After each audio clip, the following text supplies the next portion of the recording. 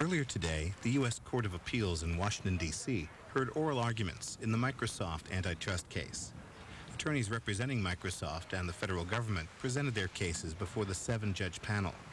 This session of the hearing is just under three hours.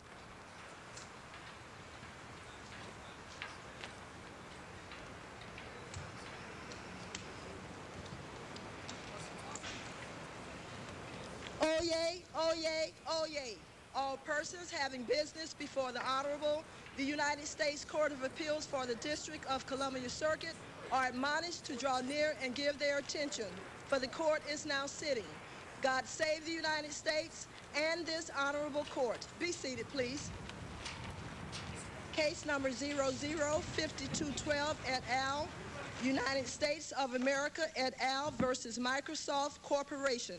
Appellant. First issue, monopoly maintenance. Mr. Urowsky for appellant, Mr. Minear for appellees. Second issue, tying. Mr. Urowsky for appellant, Mr. Roberts for appellees. Because of the breadth and complexity and importance of the issues on appeal, the arguments in this case will be heard over the course of two days. Today, the court will hear arguments on monopoly maintenance and the tying issues. Counsel will be allowed 75 minutes per side on the monopoly maintenance issue and 45 minutes per side on the tying issue. The court may take a short break after the appellant's opening argument, and then we're likely to take a recess for lunch at the conclusion of the arguments on monopoly maintenance.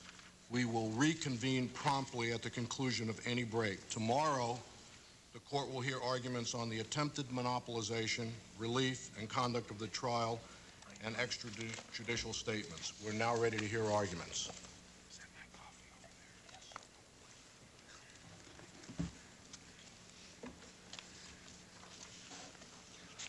Good morning.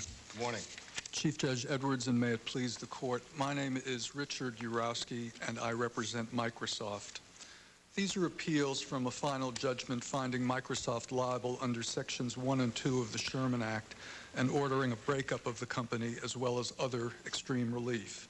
Before turning directly to the government's monopoly maintenance claim, I'd like to make one point that lies at the heart of this case and cuts across all claims asserted in the complaints. Nothing Microsoft did foreclose Netscape from any portion of the marketplace. The district court found that Netscape distributed 160 million copies of Navigator in 1998 alone. This was sufficient to saturate the entire marketplace, which consisted of approximately 100 million internet users at the time. The district court also found that between 1996 and 1998, the period at issue in this case, Netscape's installed base of users increased from 15 million to 33 million.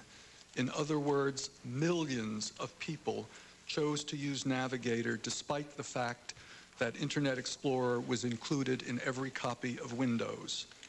In fact, James Barksdale, Netscape's CEO, testified that Netscape had between 40 and 70 million users at the time of trial.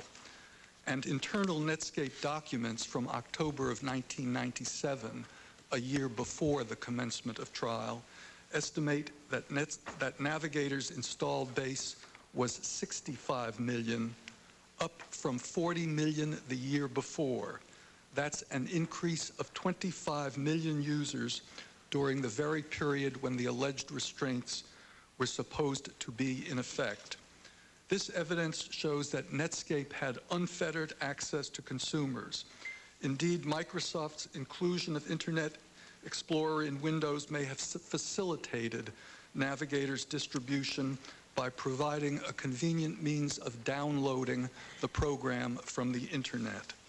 The absence of any foreclosure from any part of the marketplace undermines every claim in this case.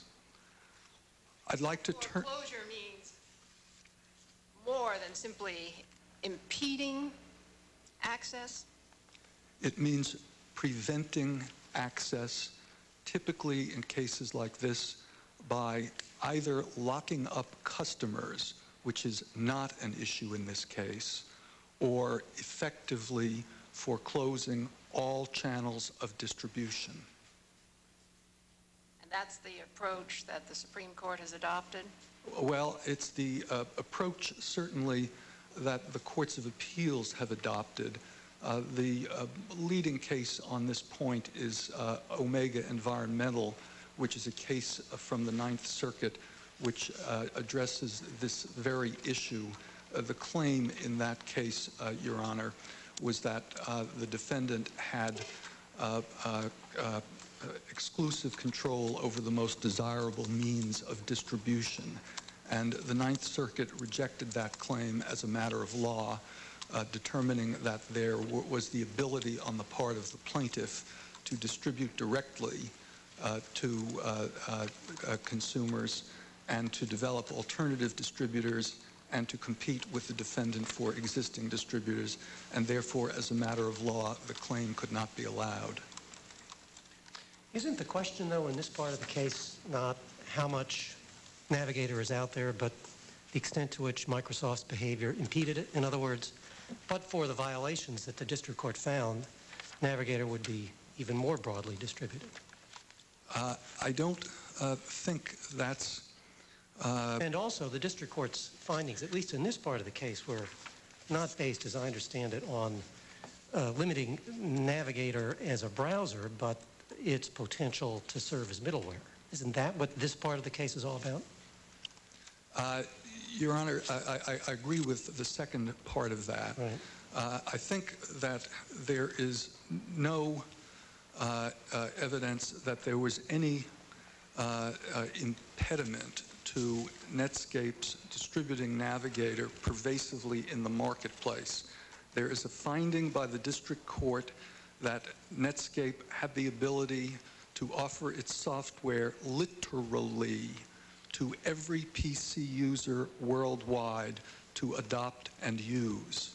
So was that finding made as part of the rejection of the exclusive dealing part of the case or this part of the case? It's it, it contained in the uh, district court's conclusions of law. Rejecting but, the exclusive dealing clause. But yes, right? But Which I, has nothing to do with this. Uh, I think it has, uh, uh, uh, with great respect, everything to do with this, because the question uh, that I think is pertinent here is whether, in any sense, Netscape was excluded from the marketplace. And that is not a different question under Section 1 and Section 2. Either they were excluded or they were not.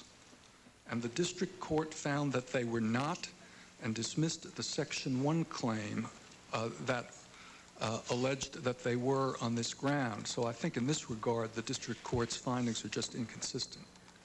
Mr. Urowsky, your responses raised something that is a little pervasive, or is, is pervasive to your case.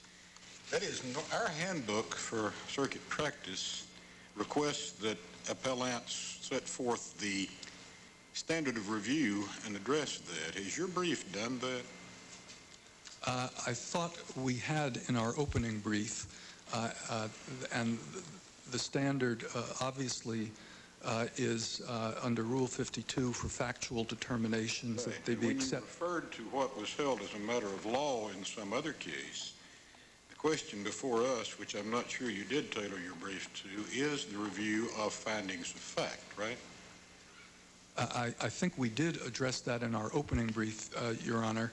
Uh, the standard is obviously the standard set forth in Rule 52. And that standard is? is clearly erroneous. Clearly erroneous. And on issues of law, there is de novo review, and in this context, traditionally, issues of law have been deemed not only the articulation of legal standards, but the proper application of those standards to the facts and the correctness of the analysis from a legal and, in this context again, economic standpoint. Are you contending that factual findings underlying the district court's conclusion on this issue are clearly erroneous, or are you not so contending? Uh, we uh, have contested uh, a relatively small number of factual determinations as clearly erroneous. However, it's our position in this court that even if the court were to accept all of the findings of the district court, the decision below would have to be reversed in all respects as a matter of law.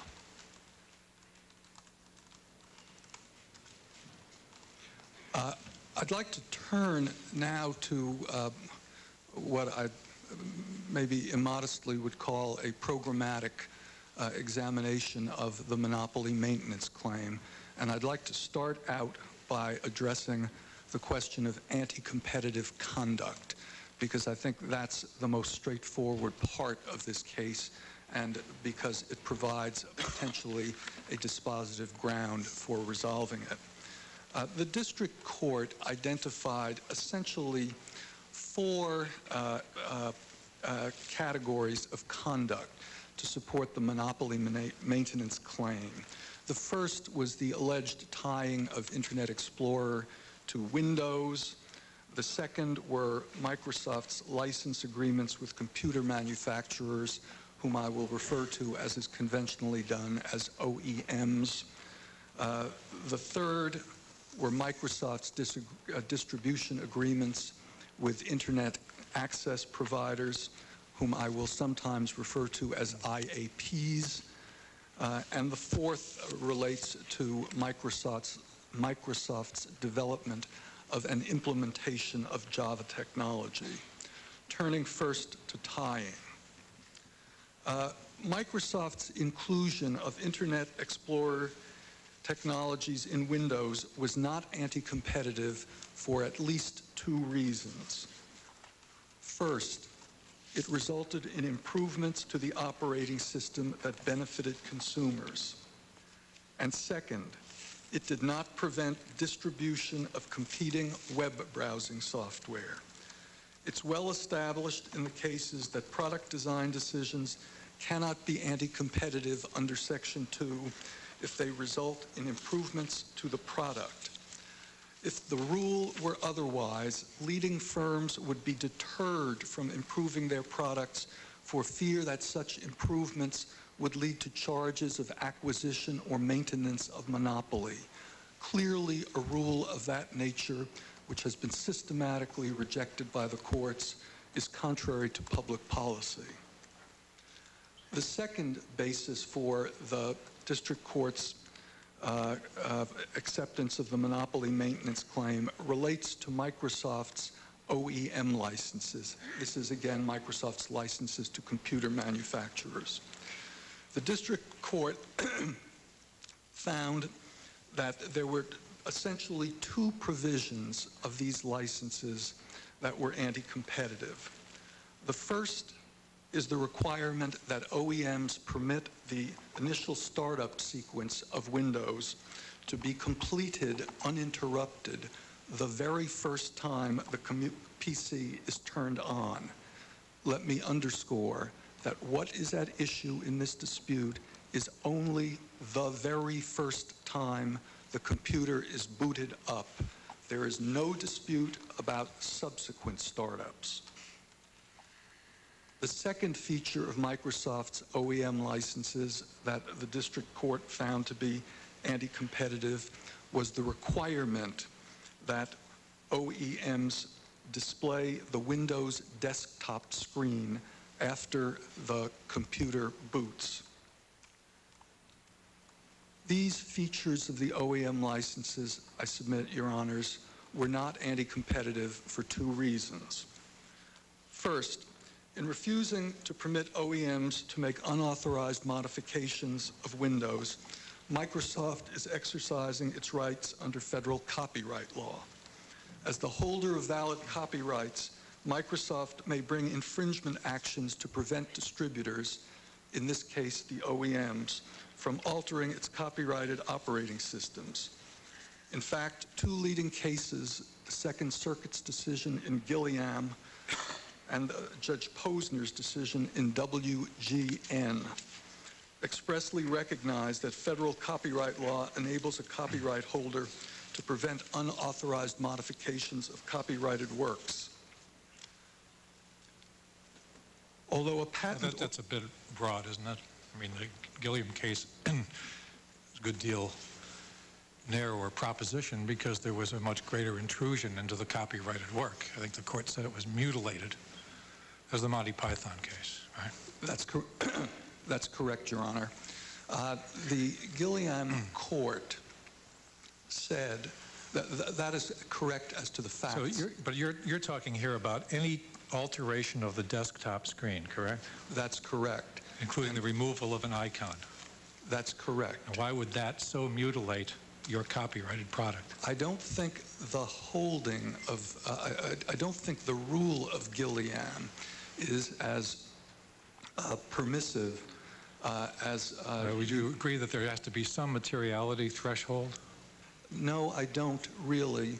If you read Gilliam, you will see that uh, ju- what Judge Lumbard So, so you're saying that an immaterial change, can, immaterial in every respect, can be legally consequential? I think that I'm saying that the changes that were, are at issue here are clearly material and significant, and that there is no basis in law for holding that even immaterial changes are permissible. What is the, what is there in the record to suggest that this would be a material change? The user interface is the sole feature of the operating system that is exposed to consumers, Microsoft's customers. And our position is that any alteration of the user interface of the product would be material and significant. Well, I'm asking if there's anything in the record, not just your assertion, but any evidence to suggest that it would be material. Is there any evidence about how consumers would be, would perceive the screen or would be confused about the source of it or wonder whether they'd gotten the legitimate product or what have you? I believe there is testimony on that subject. I'm Can sorry, me Your any Honor, more I can't cite you to a particular provision of the record. What was the finding, what's the finding relevant to this? Yeah.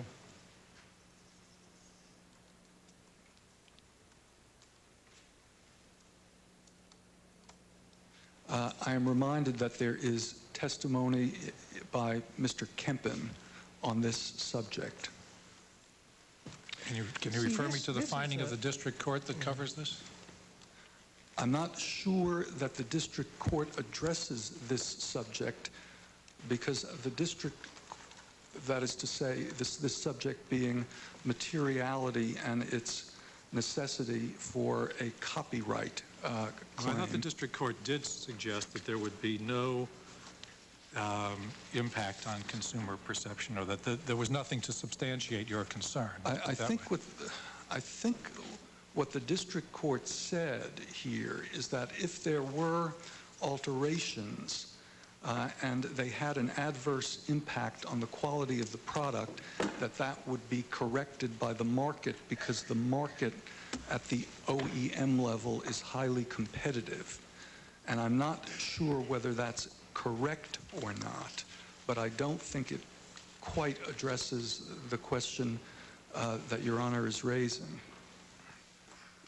I did Well, want let to me make... ask you about, uh, and this goes back to Judge Sentelle's original question to you. Uh, The district court's finding 228, which you don't challenge, um, says that the company, the company's restrictions here were not motivated to protect its copyright. Here's what it says. The removal of the icon, et- et cetera, would not have compromised Microsoft's creative expression or interfered with its ability to reap the legitimate value of its ingenuity and investment in developing Windows. Now, you don't challenge that finding. Uh, we have not challenged that finding. Right. So, and since your obligation is, since findings of fact are considered binding on us unless demonstrated to be clearly erroneous, I don't see how you uh, can, uh, can get a reversal on this part of your case. Uh, I think we can get a reversal if, uh, as a matter of law, the, as, as a matter of copyright law, the licensees are not permitted to make any changes unless they are authorized to do so by their licenses. So you're back to it being even an immaterial change is, uh, That is our position, but I'd like to point out one other thing, if I may, Your Honor, uh, and that is that the government's theory of this case is that it is important that OEMs be able to make these changes. And so it's a little difficult to see why the crux of the government's case in this area uh, can be accepted without uh, accepting that there is importance to maintaining the integrity of the Windows desktop.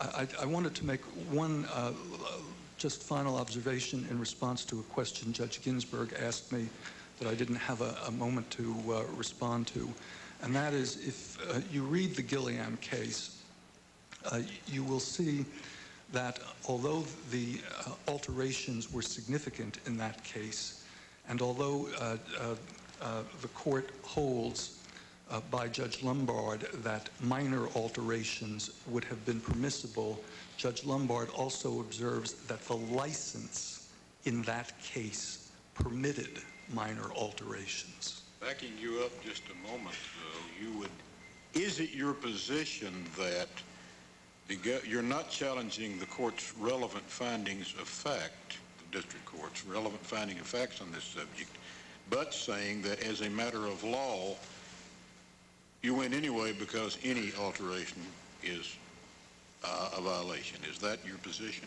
That is correct, Your Honor.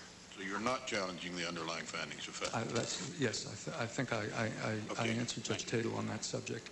But Uh, to challenge it on the basis of law, uh, what do you do with the district court's reliance on two Supreme Court cases about the intersection between copyright and antitrust law?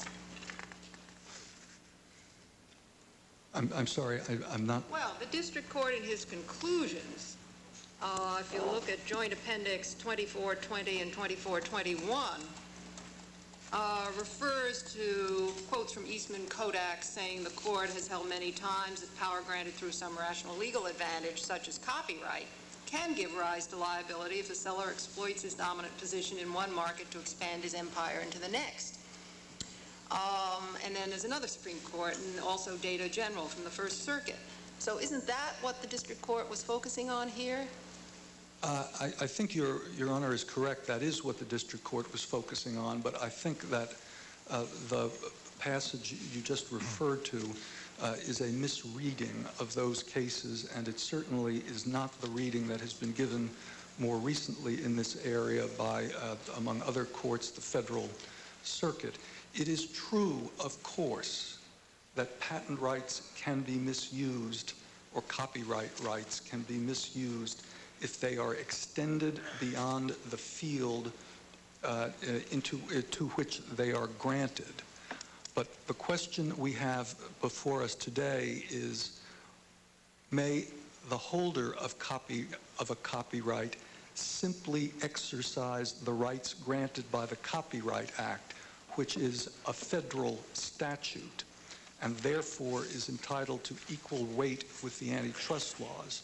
Now, in the Intel Intergraph uh, case, which was decided last year by the Federal Circuit, the Federal Circuit held squarely that the mere exercise of copyright rights, even if they have uh, impact on competitors, is not actionable under the antitrust laws. Uh, that holding uh, was reaffirmed more recently uh, in, by the Federal Circuit in the ISO, uh, I'm sorry, Independent Service Organizations. Yes, no, I appreciate that. But what I'm getting at is since you're not challenging the finding of fact, number 28, about what your focus was here, why is the district court um, legally wrong uh, in its analysis of uh, the intersection between copyright and antitrust law? B- Because I, I think the district court assumed that Microsoft was asserting some right to use its copyrights beyond the literal scope of Section 106 of the Copyright Act. And we are not doing that.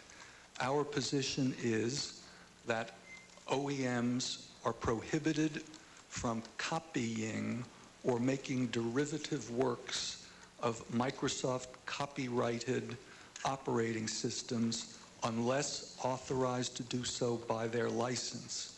That is the essence of a copyright right. Mr. Urowsky, let me take you back to some threshold questions to make sure that there's nothing the court's supposed to be agonizing over on your theory of the case, save what you've put in the brief. But, but some of what you're arguing here, I think we're going to assume you're, you're, you're pressing points of greatest concern. Do you have anything that we need worry about a lot on your arguments with respect to market share or the definition of the relevant market? Uh, I, I, think that our position is uh, set out comprehensively uh, in the briefs. Uh, our position on market share is that market share in and of itself is not a significant element here. What's significant is whether the market share has been achieved uh, effortlessly because of control of uh, elements of supply or whether market share has been achieved as a result of relentless, unremitting, and ferocious competition. All right, so that will take us to the conduct questions. What about definition of the relevant market, about which you say some things? Are there any things you think are important that we ought to know now? Uh, I think the position, again, is set forth in the brief but uh, in very summary form, uh, there is a, a, great uh, and not benign contradiction, contradiction underlying the government's case.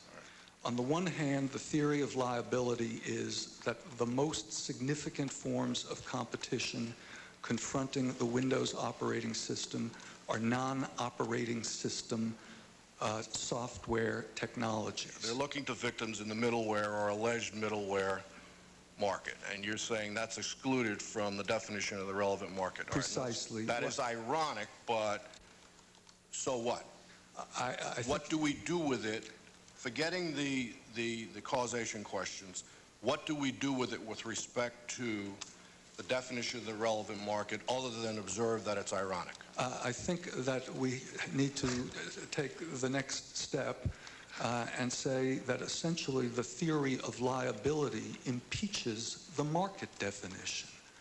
The purpose of defining a market is to identify the locus of effective competition. All right, well, let's assume that we changed the market definition and included the middleware or alleged middleware group, uh, the, the prospective platform that we're arguing about, and we even included Mac.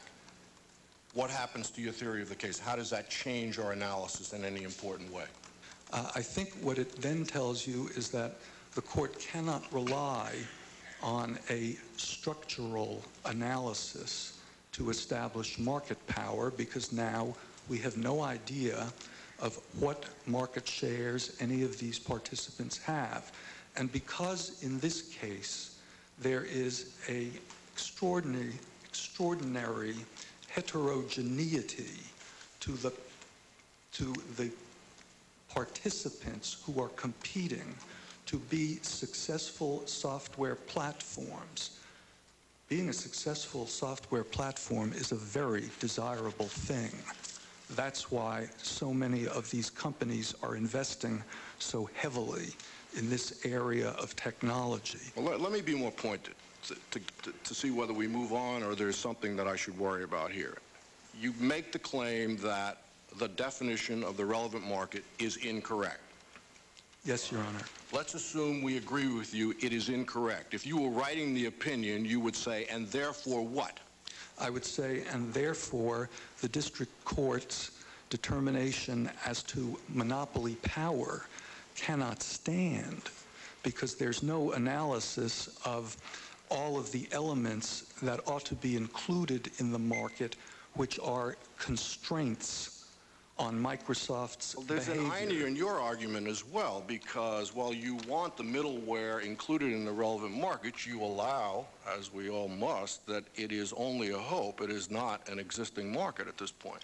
And then that brings us, That isn't going to change the analysis very much. And if you add Mac in, you still have a share that's in the 80s. with great respect, Your Honor, I don't agree with that. Which, I don't agree with the part about the inclusion of other technologies in the marketplace not having an impact on the analysis. all right, well, then tell me how. because in this business, even a, even a competitor who has not achieved mass market success, and query whether some of these technologies have already achieved what borders on mass market success. I'm thinking uh, uh, particularly at this point of Linux, certainly Apple, uh, and uh, and uh, Java as well.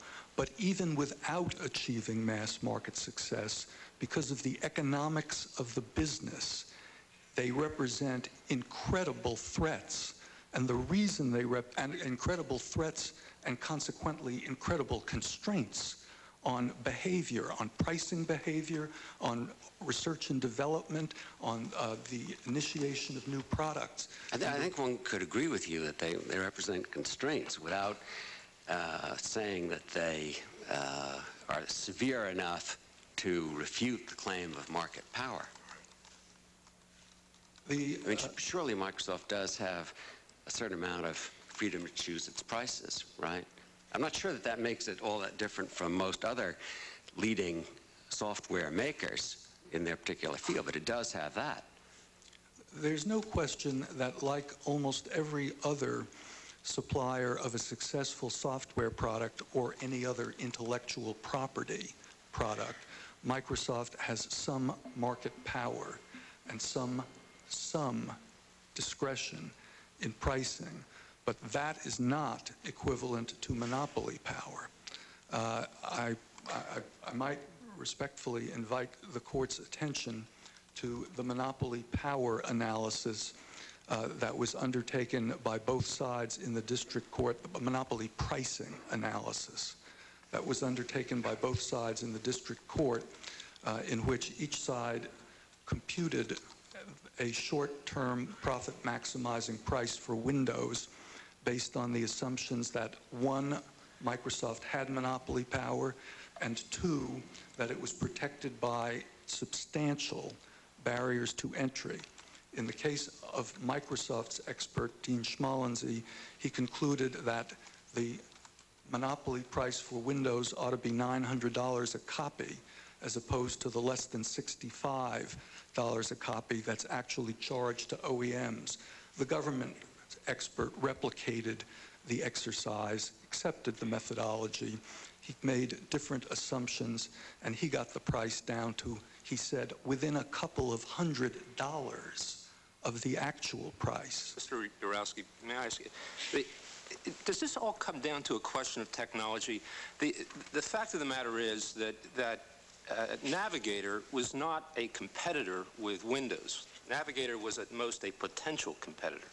That's that- correct, Honor. And, and, and how close it was, how probable it was that it would become a competitor depended upon predicting technological developments. Isn't that right?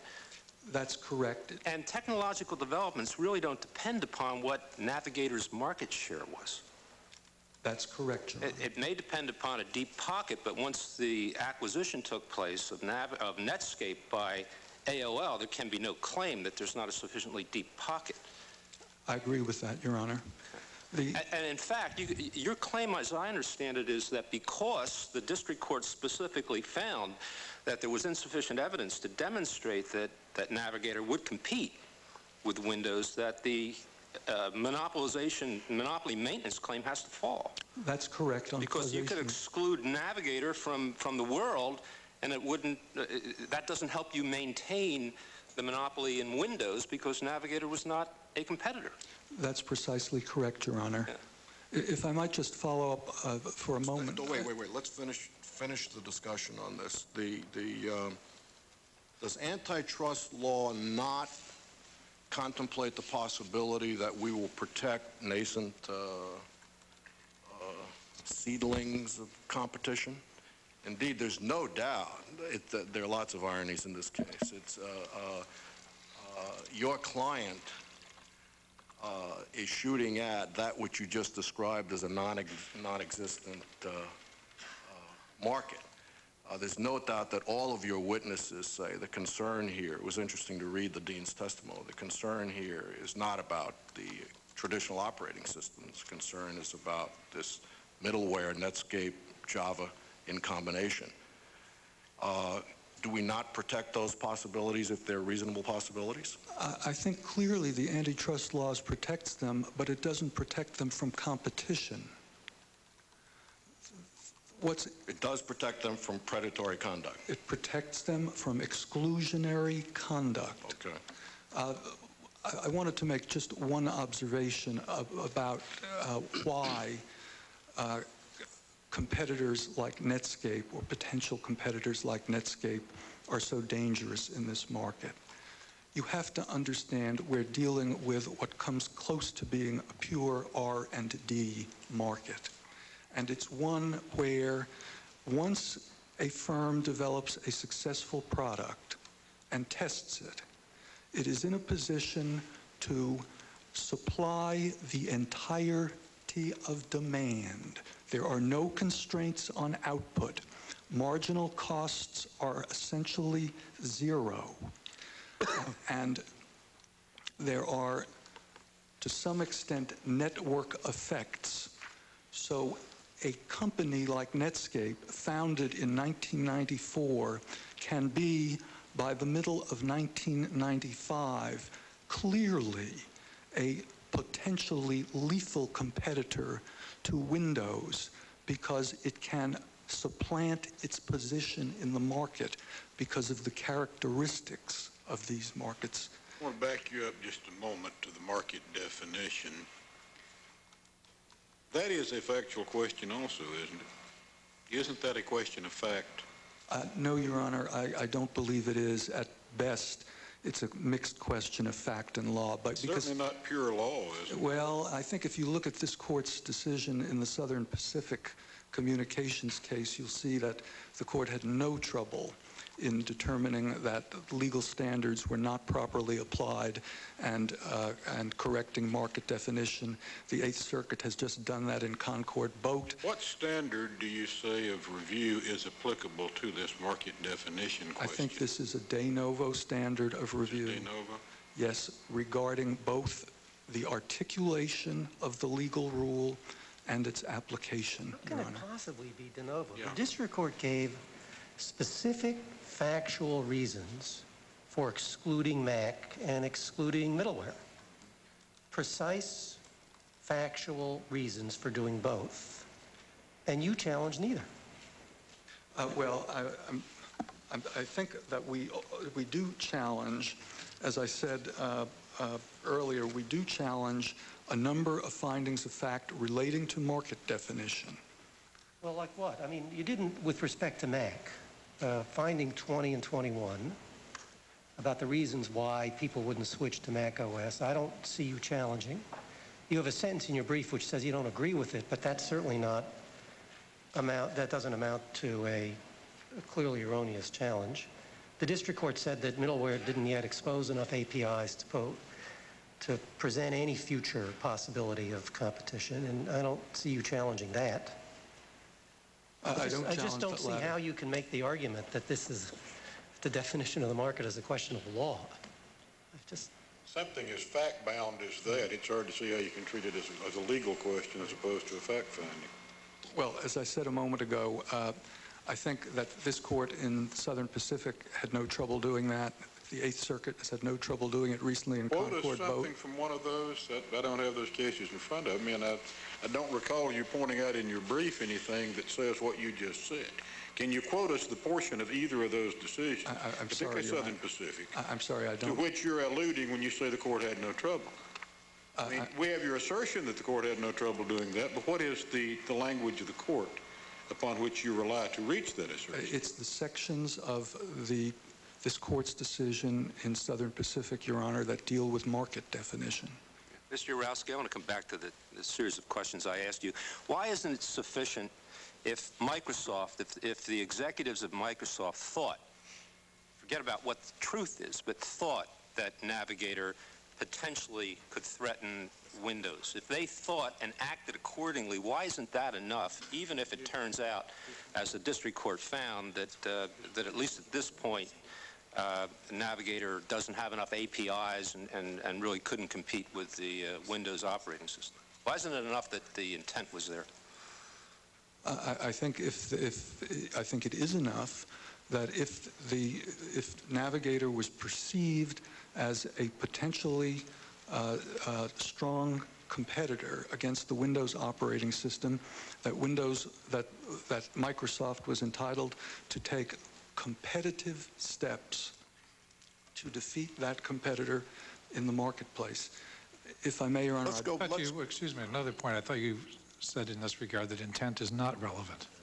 I'm sorry? In your brief, I thought you took the position that intent is not relevant. That's what I thought. That is correct. It's only relevant if it helps you, right? No, Your Honor. Well, you, I thought you were I'm quite sorry, clear I in may your have- brief in saying that intent is that whatever the government can prove out of your documents about an intent to cut my uh, navigator off at the knees is irrelevant because it's only objective facts that count here. That's correct. But you just told Judge Randolph the opposite. I- I'm sorry, I may have You told him, I believe, that if your intent is exculpatory, then it's relevant. I- I If your intent is, it shows that you, you genuinely perceive Netscape as a, an actual and imminent threat to the OS, then you were uh, entitled to take measures that you wouldn't otherwise be entitled to take. Uh, I I think what I was, I- I'm I'm sorry if that's, uh, if that's the way... Perhaps I'm the only one. If that's the way the answer came out. I I think what I was trying to point out is that because of the nature of this business, even what prove in the end to be uh, very nascent forms of competition can be perceived as highly dangerous and act as strong constraints on the behavior of market participants, and that therefore it, that is relevant to. are you, I guess the government agrees with the beginning of your statement, except how it says it might act, in this case, not as a um, uh, warrant for uh, strong measures, but simply as the warrant for a course of conduct that they describe as exclusionary. They, they seem to agree that you perceive this as a, a, a major threat early on, indeed, as I read the record, before Netscape perhaps realized the potential that it had. Is that a fair characterization of, uh, of your client's insight? Uh, I, I think I agree with the early on part. Yeah, early on, and I think before Netscape realized it, and they started, according to the government, therefore saturation bombing Netscape in a way that Netscape couldn't even understand the, the, your motive for, since they didn't see themselves as an OS competitor. Uh, Unlike, say, Java, the Java effort. Well, I, I, I think they saw themselves as a competitor. They didn't see themselves as an OS competitor. Right, they thought they were the But they- browser market. They thought they were a platform competitor, and that part has proved true. Isn't there, uh, before you sit down, isn't there a great deal of tension between your argument regarding the definition of the relevant market and your argument regarding lack of causation? I mean, you find it ironic, given the position the government takes, but aren't, isn't your position contradictory? Let me just explain. It, you say that Navigator should have been included in the relevant market. Why? Because it's a potential competitor. And then later you say there was no causation between our actions toward Navigator and the monopoly maintenance. Why? Because Navigator was not a potential competitor. How can those two statements stand? Because I'm the because the causation argument is addressed to the district court's determination, which defines the markets as it does, and and therefore identifies as the relevant form of injury the failure for there to have been new entry into the OS segment. Now, if you change the theory of the case, the causation issue is going to change accordingly. I- If I may, Your Honors, I'd like to reserve You're, you're not close yet. How much time did you want to reserve? How much did you reserve? uh, 20 minutes, and I now have 4 minutes and 23 seconds. Uh, You've been talking for 45 at most. talking for 45. He's only I think you're, I think we, s- the courtroom set the clock incorrectly. Sorry, Your Honor, sometimes it's hard to keep track of time. at Well, the we, we try to, we think try, I a think we tried to make it easier for you, and I think we made it more difficult. No, he's got another 15. Don't go anywhere yet, Mr. Rose. Could you address the issue of uh, explicit restrictions in contracts, let's say restrictions on the distribution of competing browsers? Well, In let's, other words, can you explain how that uh, has either pro-competitive effects or, uh, given the, the position of Microsoft, uh, can be seen as having a legitimate business purpose? uh, sure, uh, Your Honor. I I assume you're referring, uh, at least uh, in the initial, uh, at least in The most obvious case is The- the, is the one with AOL, With- the 85% rule. Yes. Uh, uh, Well, I think that it is uh, true. You- You you need to go back and look at what the uh, competitive situation was when that contract was negotiated in 1996.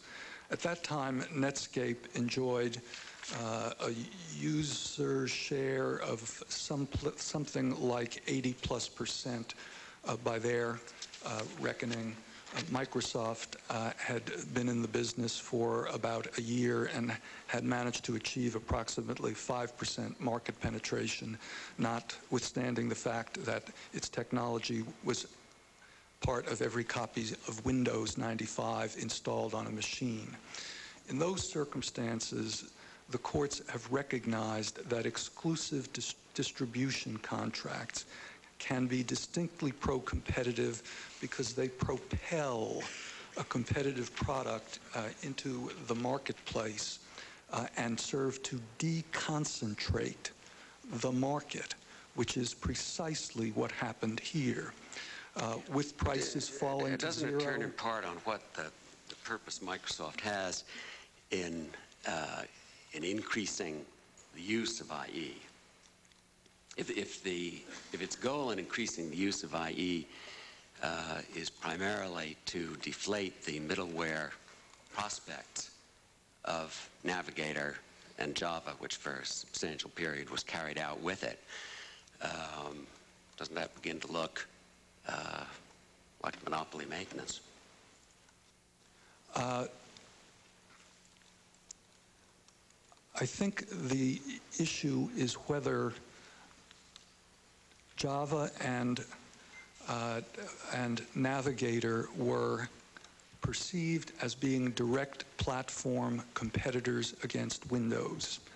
If that is correct, then Microsoft was entitled to adapt the Windows platform and seek to uh, secure as widespread uh, distribution of technologies that were part of the Windows platform Um, it- in it order might, to you might be compete. entitled to So long pursue as- widespread distribution without using every possible means to secure that distribution. so long as Netscape had complete access to the marketplace.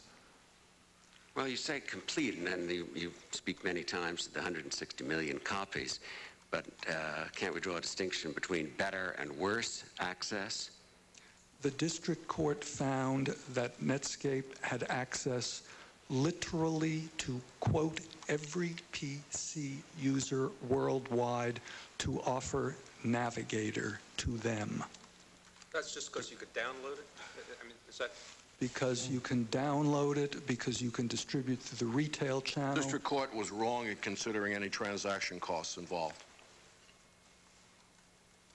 I think the, I think the answer to that is yes, but there is no showing in this record that the, that uh, if there were any increases in distribution costs, that they were significant. M- May What I about the bottom line statistic and who has what share of the market? Your Honor, it is undisputed in this record that Netscape's entire marketing budget for 1998 was under $10 million for marketing Navigator, NetCenter, and everything else. Defendants Exhibit 2440 Do we worry about the uh, convenience for the consumer, forgetting Netscape's budgeting? There is no evidence that, there is no evidence... It's not easier for me to have Netscape on the screen when I boot up the second time and choose between IE and Netscape than to have to go onto the internet and download? and that was perfectly possible. Netscape could have gone to the OEMs the way AOL did and secured complete or virtually complete presence on the Windows desktop the first time Your Honor booted up. I thought there was testimony indicated that, that, that the OEMs wouldn't, wouldn't want that because they put, Right. if they put two uh, browsers on the, uh, on their original equipment, th- th- they'll get more service calls. And if they get more service calls, they get more than three service calls, their profit margin's such that they'd, they'd be only break even or, or lose. There Is that is, it- Wasn't there evidence to that effect?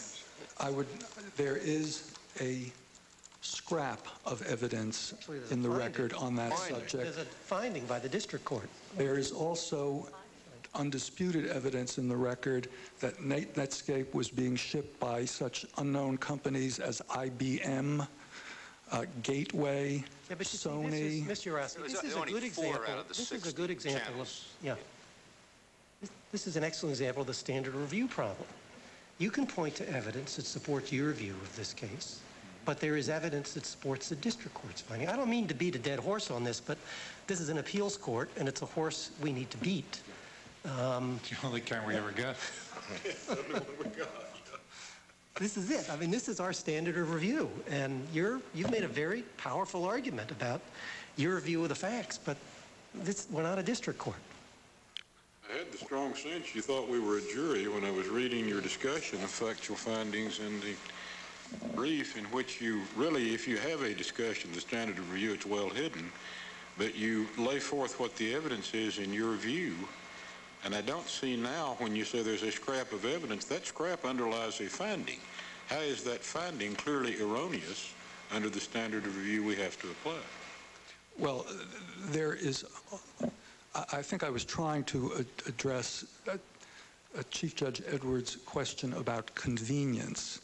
Uh, And uh, if uh, there is a finding that it was, that there were impediments to securing OEM distribution, I won't challenge that, but I do point out that the evidence is undisputed that OEMs, including major OEMs, uh, were distributing Navigator on the desktop, and there is also evidence that if, and evidence and a finding by the district court that in the case of Compaq, which was not featuring Navigator until the time of trial, that the payment of a relatively paltry sum, which was not even paid in cash, but through barter advertising, put Navigator on the Presario line of Compaq computers, which is one of the What about the ad remove problem?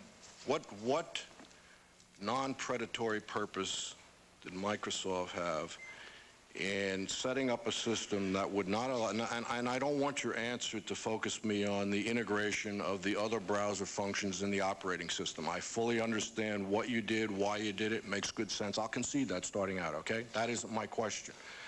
My question is very simple. Why take the action that you did, which was inconsistent from your original position, which would allow a consumer to invoke add remove and disable access to Internet Explorer? Uh, well, a consumer can do that. You can just take the icon and uh, move it to the trash receptacle on the desktop. On the add remove? The add remove is a more complicated, uh, uh, technically complicated. Not really. Uh, No, it's not. I mean, I'm not buying that one for a minute. It's not technically complicated at all. Well, all right, if you go to look at uh, OSR 2, which is the first uh, uh, update of the Windows uh, operating system uh, with IE3 in it, it, IE3 was not rem- removable by the add remove utility. Right. Because the add remove utility is primarily concerned with new features that are put on the operating system after it's been elevated to a new baseline, which OSR2 was. Now, if you download an update of IE3 onto OSR2, you can run the add you remove utility because that's being added onto what is the new baseline. Microsoft periodically incorporates interim updates in the operating system into a new baseline version that it can describe to developers so that they know what's in the operating system and can make use of the features. That's basically the, the reason, apart from the technical reason that Your Honor adverted to I think one of your principal witnesses acknowledged that, that decision that you made, that the company made, to limit that capability of the consumer was questionable. And that's why I'm asking the question, what sense did it make? It certainly looks predatory as opposed to, I, I still don't understand your answer to explain why it was a good pro-competitive move as opposed to a predatory move. Because although In other words, it's the simplest thing in the world. I understand what you're saying is a technical matter, but the answer is, and you should know this, and I'm sure you do, the, the answer is, and this is what the government is going to say, beyond what you've just said, it was the simplest thing in the world for Microsoft, especially when you're under pressure and you realize people are getting angry, including the OEMs, to leave the possibility there without regard to whether it's an upgrade or not. And the district court, it seems to me, is saying over and over again, it made no sense and it looks predatory. And I was wondering if you had some explanation to, to show me how it really was competitive or pro-competitive, because I can't figure that one out. well, I think it's pro-competitive in a couple of different ways. Uh, One, it's making the functionality available to the user. If the user doesn't want to use it, he doesn't have to use it. Second, it's elevating the baseline functionality of the operating system to a new level so that developers can rely on the essential componentry being there when they develop uh, their uh, uh, uh, applications. And why not let the And- OEMs remove it? And third, it doesn't exclude other rival suppliers. Why not let the OEMs remove it? Because the OEMs are not Microsoft's real customers. End users are. And they generally, like other distributors, You don't have OEMs, you're out of business. You're, you're not handing anything to the, uh, you've got to go through the OEMs. Is that a question? it has been in the past, Your Honor. Interesting. Mr. Urowsky, if, if I take uh, uh, Explorer and throw it into the trash bin, the, uh, dump it in there, just move the icon and dump it in there, have I, have I violated your copyright? No, because the end user copyright license permits that. Ah. The OEM license does not. Ask you, Judge Williams was asking you about these agreements, and the district court found that as to uh, the OEM uh, conditions, that you had offered certain pro-competitive uh, explanations, and he, for one reason or another, discounted them. But as to the ISV agreements, the district court found that you put forward no pro-competitive business ends whatsoever. Um, Is that a clearly erroneous uh, finding or uh, clear, clear error? Well, I, I think it's, uh, I, I think it's clear error. You said ISP. ISV is in Victor. Oh, the ISV. Uh, I, I don't What think was your evidence of a pro-competitive end? the, an effort was made to secure, to, to really to do two things. One, secure distribution of the underlying IE technology through ISV products, through developers' applications products. And two, to ensure that where those products were sold to the installed base, which may consist of users who don't have machines that have been upgraded in the operating system to the level where the application can perform properly, uh, uh, that the ISV distributes the components in order to ensure that the application uh, is properly supported by the operating system. Urowsky, um, you- you- you've, in response to a number of, of specific claims by the government against various um, contractual relations and terms and so on, the, the uh, OEM licensing, the uh, IAP uh, bounties, uh, the ISV relationship you were just addressing. In each case, you, you give us um, reasons that relate to the promotion of, um, of the sale uh, and enrichment of the Windows product. What is Microsoft's interest, though, not in, in just the sale of units of Windows and of IE, but in, in subsequent usage of IE? Why did you take steps to encourage the usage of IE to the exclusion of alternative browsers?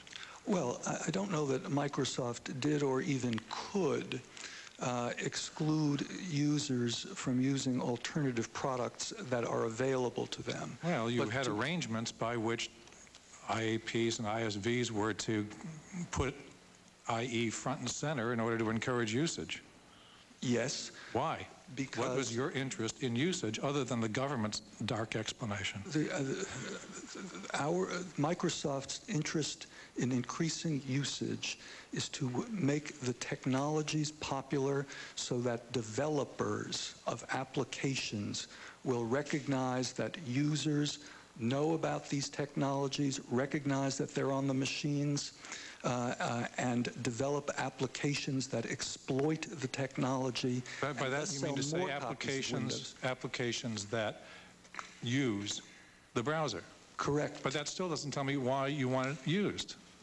because the more that end users engage and use Microsoft's technologies, the more developers are interested in exploiting those technologies in their applications. And are there Those opportunities to exploit applications, uh, for for applications to exploit the availability of Internet Explorer that are lost if the user is on Navigator? Uh, I don't know if they're lost if the user is on Navigator, but if the IE technologies are viewed as marginal and Navigator is viewed as the standard for browsing the World Wide Web, then it's likely that standards will evolve in directions that will make it impossible for Microsoft to secure the dedication of developers to exploit the underlying technology. And is it your view or your premise here that one or another of these browser platforms will become a standard, that there is not a stable equilibrium in which there are two or three products with significant market share? No, I think it's our position now that the standards are open standards. And that, Did you say now? yes, What about during the time the record was compiled? I think at, th- at that time, this, those standards were open standards. The only, Describe Netscape having 80% of the market space, right? And your attempt to dislodge it to at least that extent, relegating it to 20, um, which, together with your statement about the need for a standard that encourages applications development, su- suggests that there's going to be one standard or another, and the only question is which one. well, I think uh, what, Which may put some irony into the government's position if we're going to have a monopoly either way. Well, the, the, the danger in 1995 uh, and early 96 was that Netscape would essentially develop proprietary standards for browsing. That danger was eliminated when it became clear that Netscape was not going to be the sole mass market purveyor of browsing technology. The standards are now open standards and there's every likelihood they'll remain that way. I- If if I may, I'd like to save a few minutes for rebuttal. Let me just uh, ask you one uh, question, which I promise you has nothing to do with the standard review, and it has to do with uh, the high performance, the issues surrounding the high performance JVM. Yes, Your Honor. Um, the- Your position, Microsoft's position is that that, that Microsoft improved the product by making it faster, right? I'm sorry, I- I- You, you, you, that you improved, that Microsoft's changes to Java's, um, uh, to the JVM, it made, made it operate faster on Windows, uh, right? that's not exactly right. Microsoft didn't change somebody else's product. I understand that, but the modifications you made in how software writers use it, right, made it faster. Is that, am, I- am I wrong about that? I, I, I, I'm not sure I know how to answer that question. Microsoft built a JVM that was, by all accounts, the fastest and most accurate JVM available in the market. It also, and I think this may be what Your Honor is referring to, developed technology called JDirect that permitted applications writers not only to write in Java, but also to call the operate the the underlying operating system. And The district yes, court, yeah, the district court found that that reduced the portability of the system. yes, he, the district court also found that it was faster and it was easier for developers to use. And that's my question. Are we to disregard the disadvantage that the district court found? uh, Or is it your position that those, that the lack of portability didn't occur? I think our position is that so long as Microsoft was competing in ways that improved technology and gave developers greater choices, if it impeded, in some respects, the porting of uh, applications from one operating from one operating system to another, that that is irrelevant. That You- was you Sun's re- that was Sun's responsibility. But you, you don't make an argument that the development of these key words that were Microsoft, that differentiated Microsoft's JVM from others, uh, increased speed. The, the key words were in the tools, not in the JVM. Well, and the and right. the and the and the and the key words were an aid to developers who wanted to make native calls on the Windows operating system, notwithstanding that they were writing in Java. They would aid if they, if they knew about them. If they, let's say if they knew about this, the difference between what Microsoft was offering and the stand, the other product. That's correct. They are professional developers, and they, there is no evidence in the record that any professional developer was ever misled by it, Yeah, and it would be a question very dumb developer who would have been. The question is, were those modifications and tools necessary to improving, uh, to, to, to the improvements that the record reflects? Absolutely.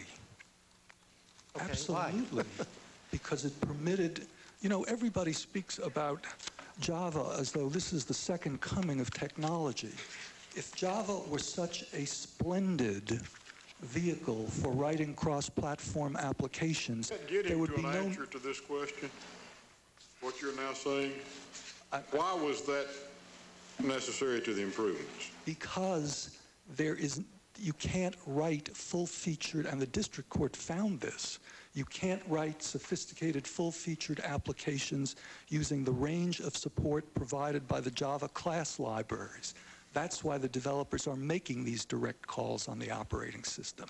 And by providing them a way to do that quickly and easily you're letting them bring their applications to market more quickly.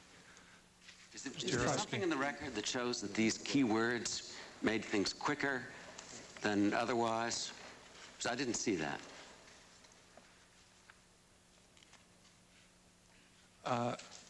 We'll give you we'll Uh, I give you a break. You okay, can you can. Uh, Mr. answer Urowsky, before you sit down,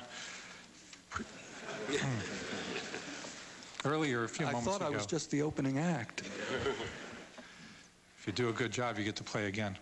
It's like, it's like, it's like pinball.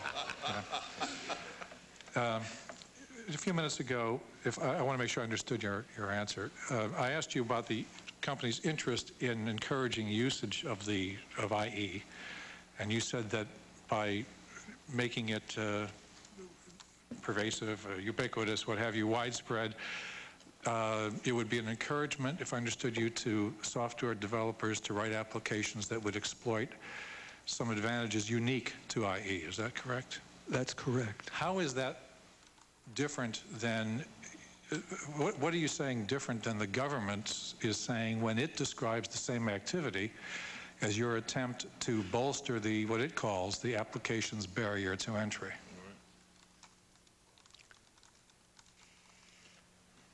Well, this is a very big question, but there is no doubt that Microsoft makes heroic efforts to encourage applications writers to write to the Windows platform and competes with other platforms in that regard in the way Your Honor adverted to and in many, many other ways that are far more significant. And the, this is a competitive fact of life in the platforms business. Every successful platform developer must do this. It is a form of competition. If I may take a... The court will take 10-minute recess. Ten-minute recess, we will reconvene promptly at ten fifty.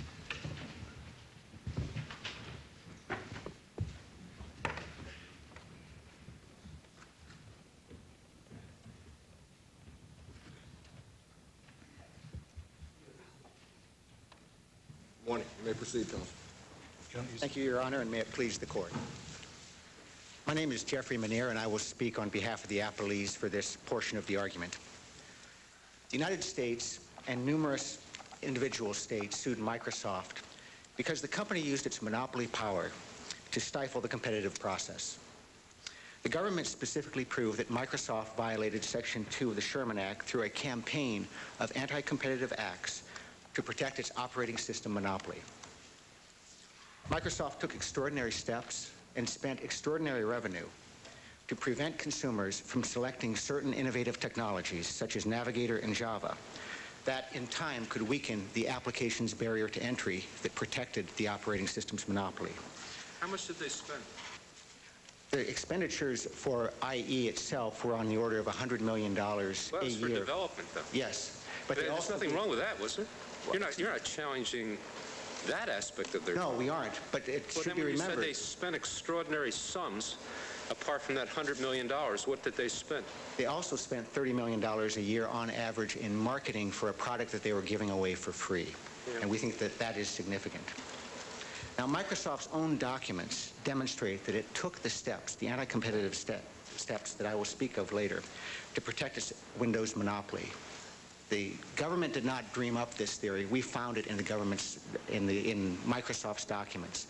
And those documents laid out the business strategy for protecting the monopoly and maintaining it through anti-competitive acts. Minear, is there any case in which the relevant include the substitute service that is the alleged victim of the predatory conduct? I Honor- can't find any. No, Your Honor, I think that that does not characterize correctly the government's case.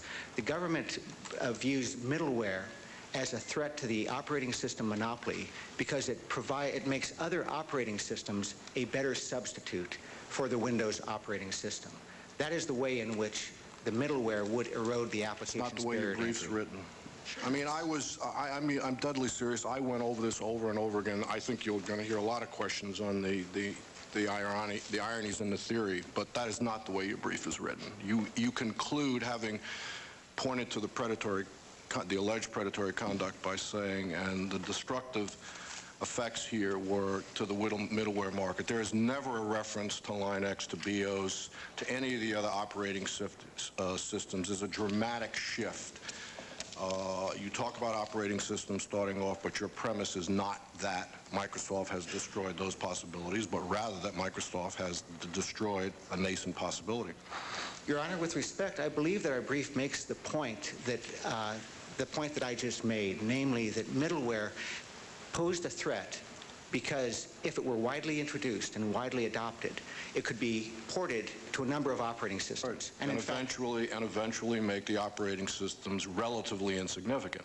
yes, and make them actually make them better competitors. No, make them relatively insignificant because the principle, the substantive work that the operating system does would be taken over by the middleware. That's your whole theory. Only a port. The, And indeed, if you were relying on Microsoft's papers, that is certainly what the dean argues. Uh, that was the threat that Microsoft contemplated. That is, that middleware would virtually wipe out anything of great import that operating systems uh, now offer substantively. They would be there, but not nearly as important. Your so Honor- let me, I still want to come back to my question. Yes, Your Honor. Assume I'm right, okay? I understand you're going to argue your case. I'd still like to know, is there any case that you can point me to in which the relevant market is defined to exclude the substitute service that's the alleged victim of the predatory conduct? Your Honor, I think that I cannot point to a particular case, but I, thir- I think it certainly is reasonable to see why that could be that this situation can arise, particularly when the threat itself is quite nascent and does not yet pose a threat to in the relevant market to the product at issue. Again, I'd like to emphasize, though, that uh, our, our theory is different, and we believe our theory is reflected in the district court's findings and the district, district court's conclusions. I think the district court was quite clear as to this point that the threat that Microsoft's, uh, that Navigator posed was to make other operating systems competitive with Windows. That would, in effect, in Mr. Gates' words, commoditize the operating systems and lead to a, a diminution or a, a erosion of the application's barrier to entry that had sustained the, the Microsoft operating system monopoly. You monopoly. addressed Mr. uh, really last point, which was that, um, yes, indeed, Microsoft was trying to, as he says it, stimulate uh, software producers to, uh, to use its platform. Now, I take it that uh, any competitor in the, in the platforms market would have to do that, right? Yes, Your Honor. Okay. So, uh, so that must be done. That, that is part of the competition for the platform market. Your Honor, our brief makes clear that we have no objection to Microsoft's broad distribution of its product, its development of IE. Uh, those are part of the competitive process, Well, which we do, favor. You, you, you do say that the, uh, the OEMs have to have, under antitrust law, the right not to include uh, IE, although it's unclear how much of IE they have a right not to include. Well, Your Honor, our, our view with regard to the OEMs is, again, as stated in the district court's factual findings. The OEMs found that it was not profitable and contrary to consumer interests to provide, uh, to deny consumers a choice of browsers. Consumers wanted a choice of browsers, and they wanted to provide I'm sorry, why, them. why wouldn't, why wouldn't having both browsers on the machine be a choice of browsers? The problem was, as the OEMs knew, is that this was confusing to the individual consumer. It increased their support costs. Three support calls, and they could lose the profit on any given Well, machine. And they also had to You're, ar- you're arguing that this was the, the creation of an artificial, and I take it serious barrier. Uh, and on that point, doesn't the uncontradicted testimony that 10 OEMs included both, uh, and Mr. Barksdale's testimony that uh, Netscape was completely interoperable with uh, Windows, where Windows had IE, doesn't that undermine that position? The district court credited the testimony of, of others that indicated that there was consumer confusion. And this came from both the OEMs Are themselves. there, is there measurement of the scale of consumer confusion? No, but I I mean, is it, believe, I mean, lo- there are an awful lot of people who have both right on their computer. yes, but nevertheless, the OEMs, who are very close to the customers, they are the ones who receive the support calls, viewed this as a real problem. They complained to Microsoft about this. And there was no good reason not to provide that Well, but, but in a sense, you, you and Mr. Urowsky agree that there was a reason, namely to stimulate uh, software programmers to program in whichever it is, either Java or uh, Windows. Well, I'd like to pause to look at that, that question of uh, motiv- uh, motivating developers to provide applications. Those developers would be providing those applications whether Navigator was on the system or whether IE is on the system. And instead, in our view, there ought to be competition on the merits between those two browsers. And that is what Microsoft's actions were foreclosing. To have a cross-platform middleware, you envision having a competitive situation? No, There would be, felt- of course not. We're going to replace one monopoly with another if you're right, right? That's what Judge Ginsburg was suggesting. Your Honor, the, the question is, we don't know if this is a winner-take-all. No, but I mean, take your theory all the way through. That's what this case ultimately is about, is whether or not the Microsoft, the alleged Microsoft monopoly should be replaced by what you say over and over in your brief, uh, should be the Netscape Sun combination together middleware monopoly. It would have to be a monopoly because you can't compete to offer that which you envision them offering, right? Judge Edwards, I disagree with your characterization of what this case is all about. It's all about allowing the competitive process to determine who will be the winner in the market. But the winner, uh, we're not disagreeing so far. The winner will be a monopoly, right? We, could, we do not know that. I think we have to allow the, the market to determine that. But you don't seriously assume that you have com- a competing middleware, uh, uh, competing middleware operations, do you? I can't say that it, it's inconceivable that a situation could arise where there would be Well, you, 50% you of haven't users- argued that. Let's put it that way. You haven't argued that. The end result is not going to be a competing. A number of folks will say, here we are, consumers. We're all competing as the middleware uh, operation. Choose one. We haven't argued an end result one way or the other. Oh, When you prepare a case like this, believe me, you think about every piece, including the end result, and there is some irony. Maybe it's not an irony. Maybe in this business, because of its dynamic nature, what we're, what we're going to see from here on in is competition, who's going to be the next monopoly, and what the form will be. Maybe that's what we're doing. Let me, let me ask you about some questions in causation, if I will, because that's what's really bothering me Yes, about your theory. Uh, Professor Areeda and a number of others say that, that impermissible exclusionary uh, behavior is conduct other than competition on the merits that reasonably appears capable of making a significant contribution to maintaining the monopoly, right? That's correct, Okay. yes. So there's got to be a causal connection between the conduct and the maintenance of the monopoly, right? Yes. Okay.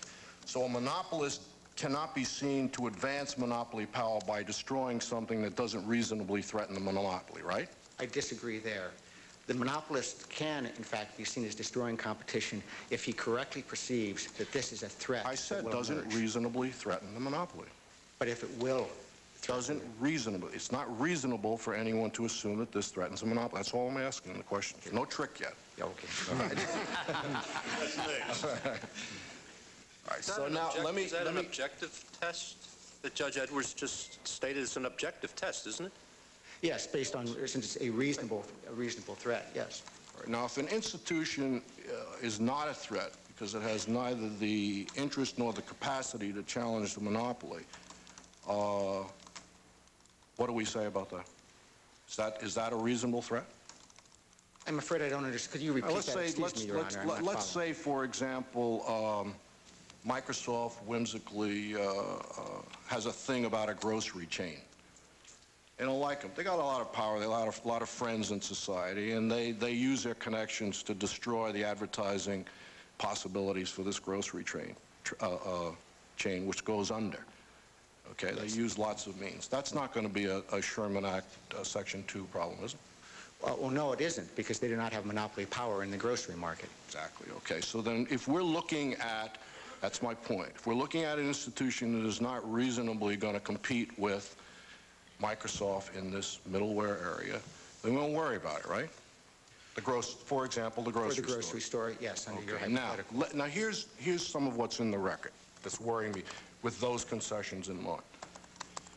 Mr. Barksdale says he was unequivocal in saying that Netscape never maintained any seri- in any serious way that Navigator was a substitute even for the platform characteristics of Windows. Let me just give you my scenario. Yes, Your Honor. The dean was unequivocal in, in testifying that Netscape never sought to achieve middleware status to be a viable competitor to the Windows operating system. The district court found there wasn't enough evidence to uh, say that this could ever happen. Uh, certainly not Netscape alone, but they were focused on Netscape and Java because that's the way you're presenting the case. Netscape itself did not act to become a viable platform. For example, it never developed the componentized version of the browser. Uh, Netscape, the testimony is clear that Netscape currently enjoys sufficient usage to share, a usage share to offer the ISVs a viable platform, and yet they haven't done it. Um, and there are problems in the connection between Netscape and Sun. Uh, They have not put all of what Sun needs in order to be able to distribute that which Sun would need to be a viable platform. Now, your whole theory of the case is not that Netscape alone is going to be the middleware platform, but that Netscape and Sun together. There's no doubt in my mind that Sun has the capacity, based on everything I see, to be in the middleware business. But you argue the case very clearly that it must be Netscape, the, Netscape, the carrier, and Sun together. And I went back and checked it again. Now, if I'm right in looking at this record, that Netscape, Netscape neither has the interest nor has done anything to facilitate the possibility, what's different from Netscape and the grocery store? Your Honor, I don't, I think that the, the facts that you've chosen from the record, or the evidence you've chosen from the record, don't correctly capture the factual findings of the district court or the government's theory of the case. Well, the district court on the possibility was clear. The district court said he couldn't make any findings. The district court said he could not conclude that Netscape and Sun together would achieve the status that you're envisioning. It said that it could not ultimately achieve that status, but I think the district court was also quite clear that Microsoft's steps prevented competition in the market that could have led to that But result. if it's a grocery store, what difference does it make? If we have a paranoid monopolist who shoots at anything, whether it's viable or not, The crucial difference, Your Honor, is that the grocery store threat uh, poses no threat to Microsoft's monopoly. Well, and what I'm suggesting to you is, and you have to tell me where the record is different, because I've looked at this over and over and over again. Your argument is you must have Netscape and Sun together. I can't find anything of import in the record to su- suggest that Netscape has an interest in or capacity to serve in the plat- middleware platform market. Your Honor, I think that the evidence, uh, I cannot cite you to particular evidence except to say that I believe that there is a mixture of evidence with regard to Netscape's uh, plans and expectations. And certainly Microsoft... Gotta do better than that. I mean, we've heard a lot up to now about the facts and findings and, and uh, how we're supposed to defer to them. I'm, I'm speaking very directly now. I'm telling you, I can't find it. That I've poured through the record. I found one statement early on where someone in Netscape said, you know, we're going to we're going to take over the world. But then Barksdale is very clear in his testimony that Netscape was not intending to, not designed to, enter this middleware market. That's not what it was about. Now, where's the counter evidence? Where are the findings that you can rest on to show me we have something other than a grocery store?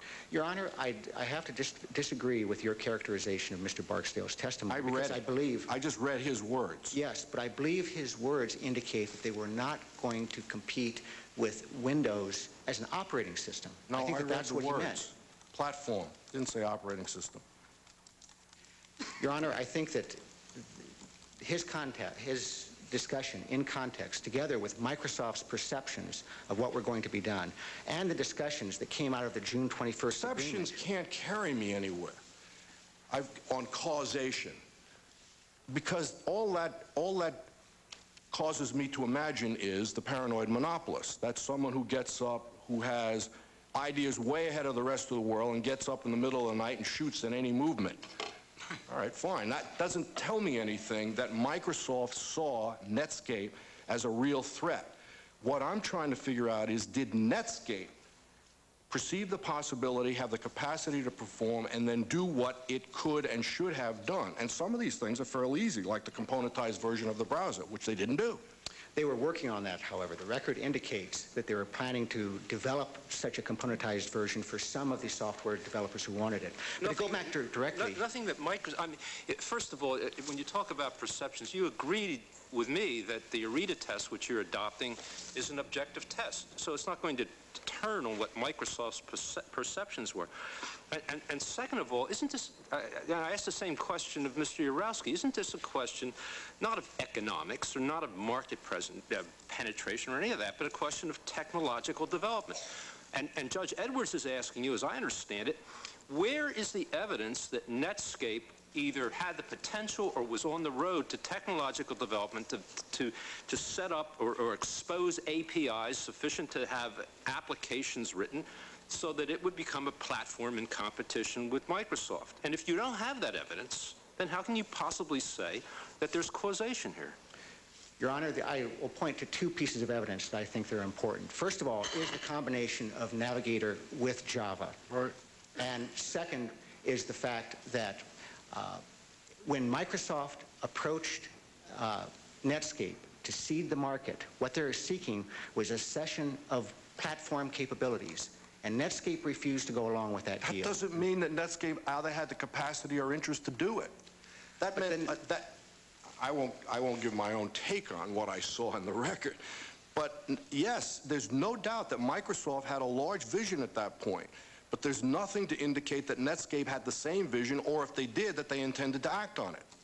And so that they concluded that meeting by saying, go away, Microsoft, didn't tell me anything. Your Honor, I think we disagree on this point, and I think we do agree, though, however, that Net- Netscape and Java together did pose a threat. And the fact, if Netscape has the capacity and interest to do what it takes to enter the middleware platform area. Now, if Barksdale says, no, that's not what we're going to do, the Microsoft testimony through the dean says they're not doing anything to ready themselves for the platform. And the evidence shows that there are serious technical problems in the connection between Netscape and Java, the combination that you're relying on. I don't know what that shows us on causation. but Your Honor, those- that connection that you're talking about between Navigator and Java, the problems there, there's no, I think there is testimony in the record from Dr. Gosling that Navig- Navigator and Java were working together to try and develop cross-platform capabilities. Now, Netscape fell behind in certain respects, but that was primarily because it had had its air supply cut off, to use the terms that were used in the Where's record. the record evidence on that? Where's the facts? Where are the facts on that, that they could not, for example, componentize, they could not write the, uh, the right script for Java because of things that Netscape, uh, uh, Microsoft was doing? Where are the findings? A specific example of that is the finding of the district court that Netscape had discontinued the de- development of a JNI, even though it was useful for the Java implementation. Right, was another point I not was going to raise with you. Uh, Go ahead. Because they did not have the, the funding that was necessary to continue the work because of the, the competitive pressure that they were under. Remember, Netscape's business model was to, uh, originally, to sell their, uh, their browser. And they had to change their model when Microsoft offered its browser for free. And that cut back on the revenues that they had for certain types of development. What, what- what is- Sun's model? Because uh, Java is always depicted as this cross-platform technology, which will commoditize the operating system. Um, but how is Sun going to make money? I mean, if, if it puts it out there for free, then obviously we're in a wonderful world uh, where they, where this, call it generally, the platform monopoly is disposed of. But if it's going to simply be the successor of Microsoft, um, I'm, I'm not sure what exactly the function of the suit is. I believe that Java licenses its, uh, uh, its Java programming language and uh, its JVM, so it does receive revenues from that. Developers are free And to the, use and it. the, and the more developers use it, the more money it makes, right? Yes, the more developers that use it, the more widely it's distributed, the more money that, So that then, it, Java then, it, so then it does become the the new Tipping. uh, monster, right? Oh, it could potentially. All of these were Why not? I mean, threats. isn't, isn't that really the, the government's theory? I mean, the, the government persuaded the district court to, to make this finding of fact that uh, essentially uh, Netscape needed to become the standard. That's, that's because it needed universality. It needed not to have competition, in effect. Your Honor, I think that that what we indicated at trial, that by becoming the standard, not mean that it had to become a monopolist. It simply had to have sufficiently widespread use that applications writers would view it as an alternative to writing to Well, the what I dominant think what Windows. we're That's not what the district court found. If you look at finding 378, the district court found specifically that, that Netscape or Navigator had to become the standard. It's just exactly what Judge Williams said. Yes, but by becoming- How do you explain finding 378? By becoming the standard, it did not need to become the only browser. And Microsoft realized that simply by preventing it from having a sufficiently broad uh, usage level, it could uh, it would not attract uh, applications development. And usage is key here. I think that's something that's important to understand in terms of the anti-competitive acts that Microsoft took to protect its monopoly. that as Microsoft itself recognized, that it's usage that determines that's important here, not merely distribution. And the fact that numerous copies of Netscape could have been distributed does not answer the question of whether uh, there was sufficient usage that applications writers would be writing to Netscape and Java as platforms. Suppose, there, suppose that happened and they were writing to that platform. Doesn't it follow from your case about consumer confusion that either Netscape or IE is going to end up as the sole occupant of the desktop? Again, that may happen, but I don't think we can predict the market. The key Well, is tell us how you think it might not, assuming uh, there isn't, uh, we're all, we're all wondering about this curiosity in this case. It really looks like one monopoly replacing another. We will all ask you the same question in different ways. We can't imagine how you're imagining otherwise, and indeed your brief seems to, seems to accept that possibility. Is that what we're really talking about? One monopolist replacing another? Are we fighting for monopoly, fighting for the newest, latest monopoly status? Your Honor, my answer again is we don't know, and I'd like to give you two responses to this. Do- You have to have a theory as to, first you have a theory as to Microsoft's motivation, and you, and you, you have sort of implicitly a theory as to what this nascent or embryonic competition was. But unless uh, you, the, the whole fight for getting programmers to program, it, program in the language turns, it seems to me, on the notion that uh, you want universality. Your Honor, our theory of the case is this, that, middle, that the middleware was viewed by Microsoft as a, th a threat. Perhaps they realized it even before Netscape did. But in any, any event, they realized it was a threat to their monopoly on operating Right, systems. right. That operating system monopoly is protected by the application's barrier to entry. All right. And they recognized that the way middleware would threaten that uh, monopoly is by eroding that barrier to entry, that it would become popular enough that people would write to that Right, and if you write to Java Netscape, your Java Netscape, uh, there would be an applications barrier in the new middleware market. There would have to be. You can't compete reasonably if you want a cross-platform uniformity. That's what we're asking. You can't keep avoiding the question. If that's the answer, say yes. If you're hopelessly confused about it, say that too. But I mean, this really leaps out. I'm serious, this really leaps out, Counselor.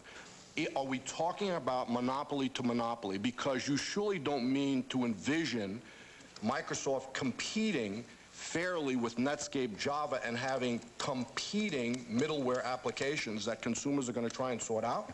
Well, Your Honor, if we assume that this is competition for a monopoly, the fact still remains that that's a form of competition that is subject to Section 2. Well, I, I- I didn't say it was a bad thing, but you seem to be running from it as if it is. It's, it's curious because we don't normally see it, and it may be the nature of this kind of a market, but it seems to be that that's what you're talking about. I, I apologize, Your Honor. I was simply trying to clarify that I simply can't predict what the market will look like. I think we have to leave that to the market. Well, market. there was a time, I suppose, when before, when Java first arrived as a concept in which it was tenable to hope that Java would be able to run on any underlying um, platform. Is that correct? That's correct. Any underlying OS, pardon me. Yes. Right? Yes. So that you could have um, coexistence of stable equilibrium with the with Java and Windows uh, coexisting.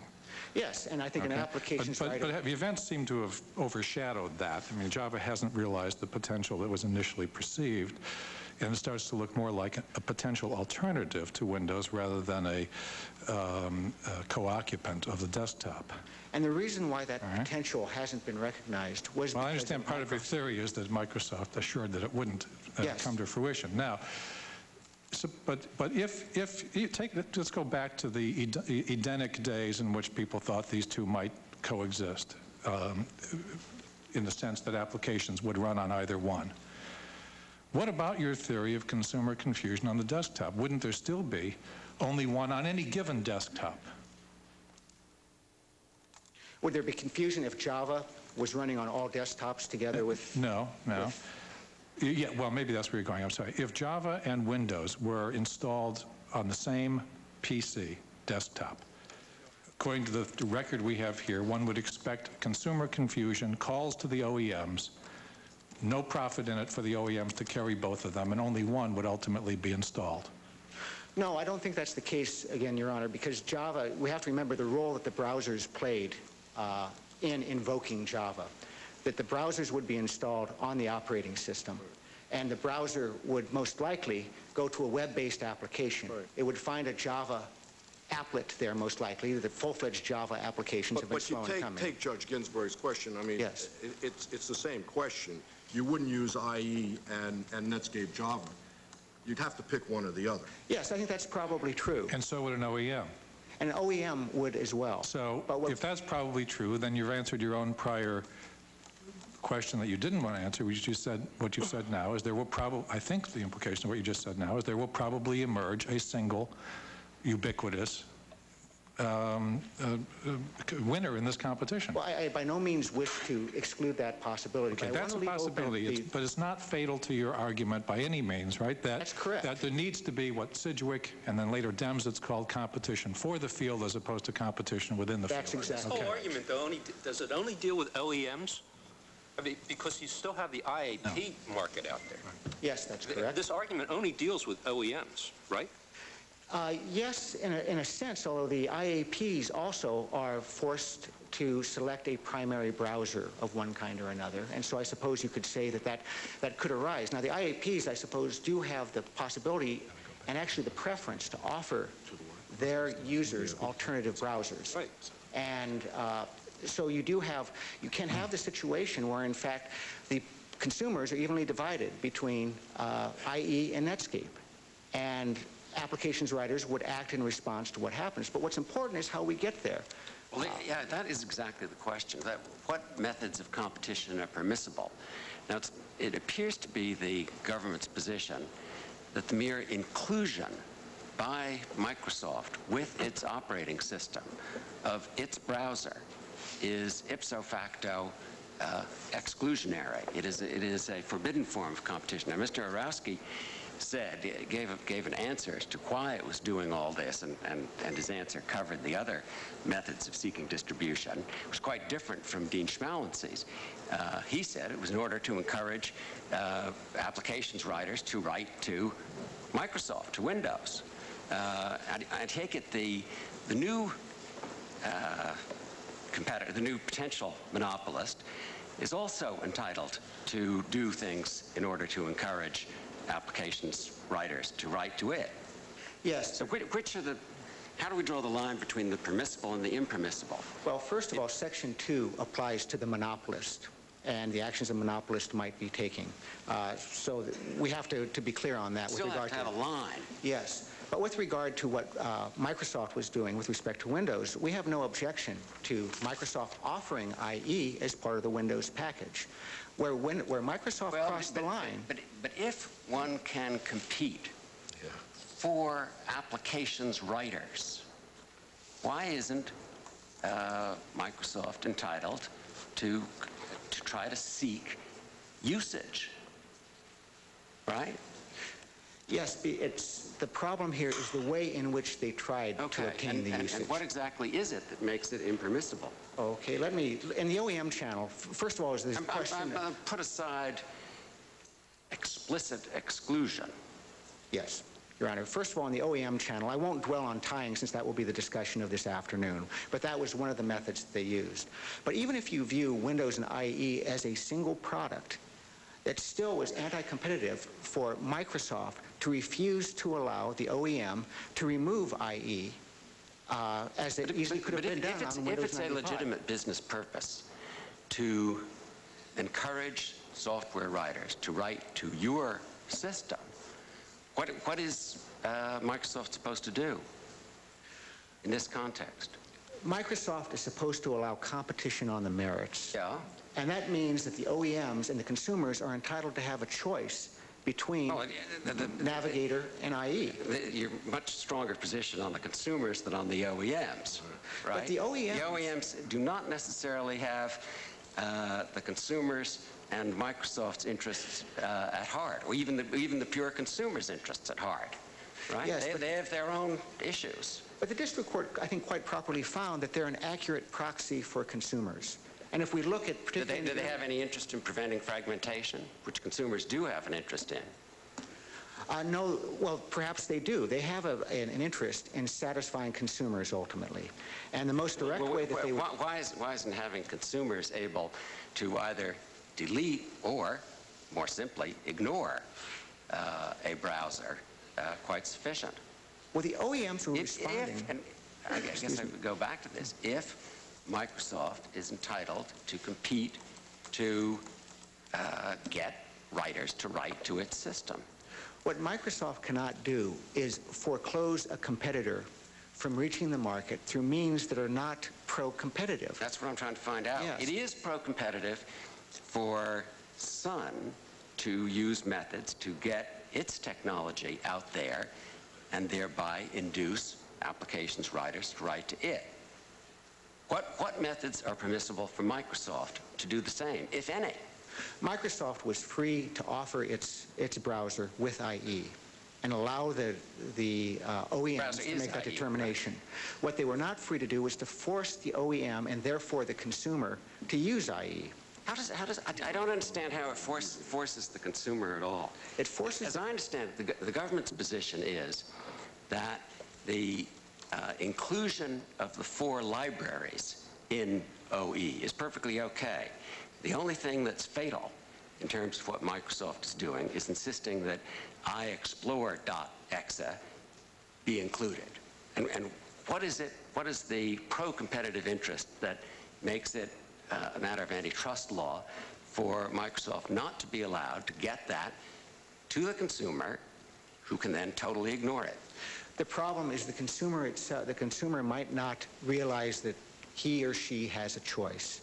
And this will occur in the situation, as the OEMs described it, of consumer confusion. They're trying to respond to the consumer demand for Navigator, and they found in response that they were receiving that they had to load IE. If they put IE and Navigator both on the system, that the consumer would be confused, and so that led to a decline Is, in the is that uses of... consumer confusion quantified in any way? Yeah. It's not, it's described, it's not quantified, but it certainly is described in the it- testimony. Isn't, isn't there, I mean, if you're imposing on one firm a set of competitive restrictions that you aren't imposing on other firms, how, that is to say, you, you acknowledge the legitimacy of a particular form of competition in general, uh, haven't you got to have a pretty good method for weighing what it, at what point it becomes impermissible? Uh, yes, Your Honor, but I think that the, the case law and common sense and the facts of this case provide direction on these matters. Do, you have any case that says that a manufacturer cannot uh, define his product and let it get through to the consumers? I'm putting aside tying cases, which we will come to this afternoon. Yes, well, I was going to uh, point out the tying cases, but here let's look to the individual facts. And why is it that the OEM could not invoke the add remove function that was available to the consumer in order to provide the consumer Well, to, you, to meet a you and Mr. Urowsky are on the same page on that, right? To get, to have it out there, to have it used to encourage applications writers. You're on the same The page, but you, all you disagree is as to what's permissible for whom. But the difference, Which is in our view, is that we view Microsoft as a monopolist and it protecting its, let's its operating system monopoly as But- well. But is, is it your position that with respect to anything that has to do with encouraging applications writers to write to its system, it is, it can do nothing? It, it can, let's say it can do, no- it can incur no cost, which is explicitly aimed at that goal. But we have to- Exclusively at that With, goal. with all respect, Your Honor, we have to look to why they are encouraging these, incurring these costs. That IE generated no revenue.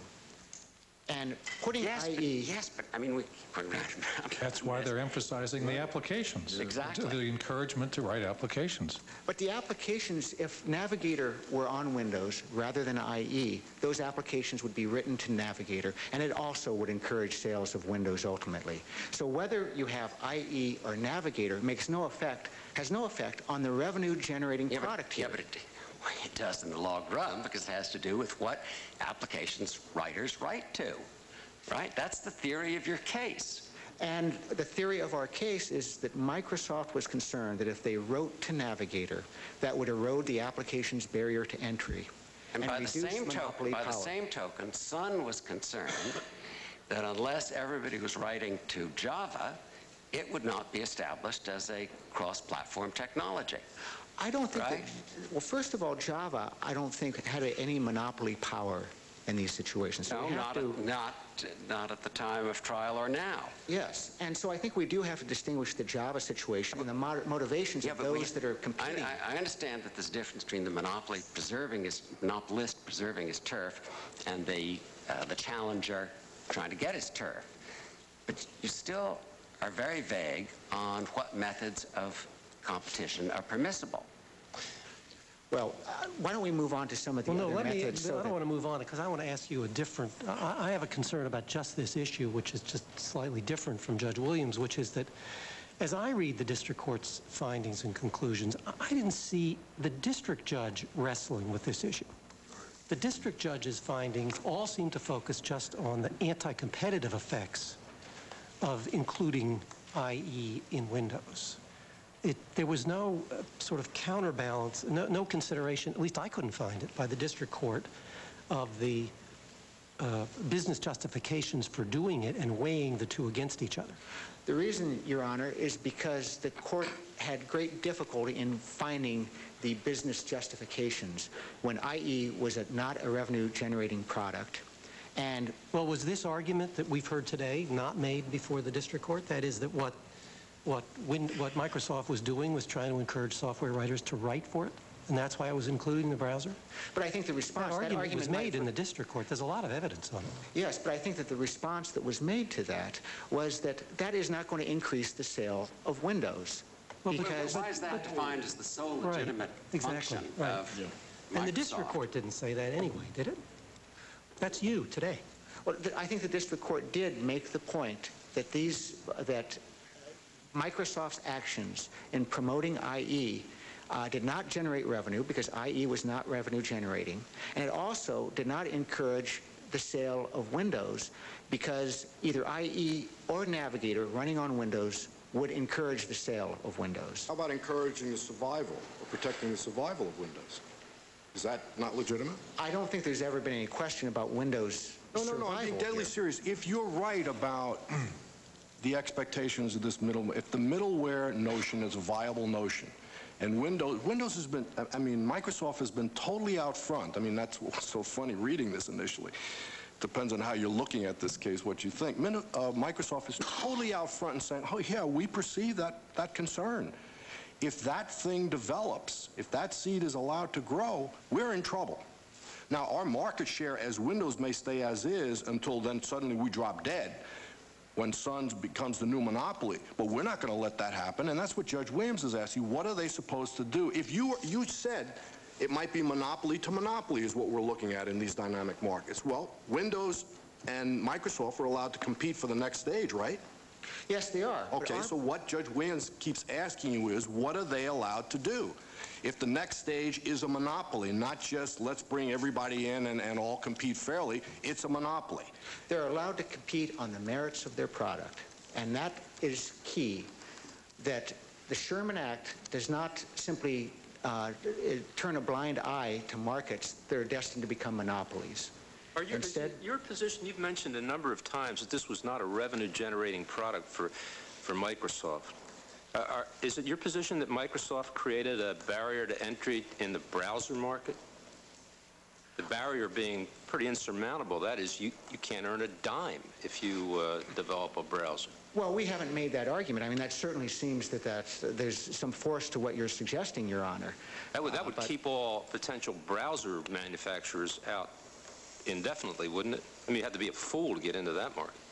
Well, yes, and in fact, i- you know, an- an argument can be made that, that offering the browser for free was a form of predatory pricing. Now, we are not arguing that here. We're even going so far as to say that that's, you know, that that is, that is permissible. What we're concerned about are very specific anti-competitive acts that were detailed by the district court. But Attorney- you, will, will you articulate for me the line between the permissible and the impermissible? And, and you might You might do this in relation to the Lorain Journal case, which incidentally is cited in neither the government nor Microsoft's brief. Uh, but that, that is a case of, of leveraging monopoly in one market into another, or at any rate, uh, nipping, nipping competition in the bud. Uh, but there you had a clearly uh, exclusive dealing requirement. And here you have a few in the periphery, but, but no one's really exercised about them. Yes, Your Honor, why I think the Lorain Journal is highly pertinent. We haven't relied you don't on have it. conduct. You don't have conduct like that. Oh, I think that we do. I think what we do, what we had in Lorain Journal was really a reverse tie, that advertisers who wanted to advertise with the Right. newspaper could not advertise Right. on the radio. Right. And we're seeing conduct of that You, same you have, you, have, sort. you have a tiny bit that parallels that. Yes. You have the 85% rule with AOL and so forth. For the most part, you have vigorous promotion of. IE. vigorous promotion of a product, again, that is given away for free, which should give the court some concern about the pro-competitive nature of what's but, going but, on. But, but remember, you, you are accepting the proposition that a firm seeking to establish its position in cross-platform technology has a, an imperative interest in getting applications writers to write to it. The question is, how are they to do that? Yes, Wh- Whether they're on top or on the bottom. we think the district court drew the correct line. That in the case. Where would you say that line is? What is it? in the, Because, in it, the- because it's, it clearly goes beyond explicit exclusion, the Lorain Journal model. Yes, and I, th- I would say this, that the line with regard to the OEMs was the failure to allow Navigator to have any prospect for usage, for, for distribution that would lead to usage. It was an exclusion from distribution. And this is where we disagree Well, with you say Microsoft. yeah, but your exclusion from distribution is the inference from the insistence on distribution, right? That is the actual act that Microsoft did, insist on distribution of IE. But And you say that that inherently excludes, notwithstanding 10 OEMs that include both. Your Honor, with But regard it's to... just the inclusion of one excludes the other. That's, that's your proposition. That's right. That's what the district court found in these circumstances, that the inclusion of one... with, of- with, with 10 including both, is that perhaps clearly erroneous? The fact is that the district court found that as a result of this campaign, Navigator was Well, only on a... let's, just- let's just go back on uh, finding 159. Is it clearly erroneous to say that uh, the inclusion of IE necessitates the exclusion of Netscape when there are 10 OEMs that do it? We don't know the level of... Maybe it's something peculiar about the firms that complained. Your Honor, it depends where Netscape is being uh, contained on those OEMs. For instance, as the court, the court found that Navigator only was on a tiny fraction of the desktops of, of these OEM machines. Sure, Navigator might be there somewhere, but, the, but it would due be in a place diligence, that would not the, due, be... the due diligence documents suggest that it's not all that tiny. What is it, 22%? Your Honor- I know you question the authenticity and Well, uh, so forth. More than that, Your Honor, I'd like to direct you specifically to GX 2116, which I think sheds light. This is a sealed document, so I am not at great liberty to speak of Is its that the contents. chart? Excuse me? Uh, no, it's not. This is it. Is it a chart or? No, it's not a chart, but it does get shed light on the 22% figure. And I believe you'll find that it will indicate that Navigator was not on the Well, can I desktop just follow a- up? to a large extent. There, there is a chart, though, and I don't, I don't think it's uh, under seal, that, that shows that out of the 60 uh, PCs that are manufactured by the various companies, that Navigator's on four. I think that's right. Yes, four sub-channels of the 60 Four, channels. right. And what yes. percentage do those four represent? I'm not sure if we have a specific percentage, but it is low. Uh, The The district the court... closest you have is the 22% figure in the AOL document. That is, that is, uh, Could those four represent 22%? I mean, that's, we believe that 22%, what it represents, and I think that uh, Dr. Fisher testified to this and offers some clarity on these matters, is that 22% is best understood as representing that 22% uh, of, of the OEMs that sell uh, PCs have Navigator on some portion of one of their lines. So it means the actual amount of coverage is far less than 22%. It's not on 22% of the machine, not only that there are 22% of the OEMs. Well, wait a minute, if, if, if, if these OEMs include Navigator on some of the units they ship, or some lines, Yes. the 22% simply represents the degree to which consumers want it, right? No, I, I think all it represents. All out, it's out there for them to choose. They can choose that line. All it means is that of the OEMs that are out there in the market, only 22% of them are carrying uh, Navigator. And then, No, no, to what no. level, uh, and only on some lines. The 22% figure, I'm quite sure, appears as a percentage of shipments. I think it's more ambiguous than that. And I I refer you to our brief, where we do discuss this, and, and again to the, the sealed exhibit that I spoke to before. Could I just ask you, is all of the evidence regarding how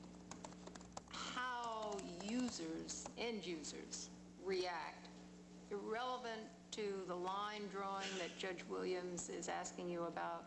In other words, given the nature of the market that the monopolist is facing,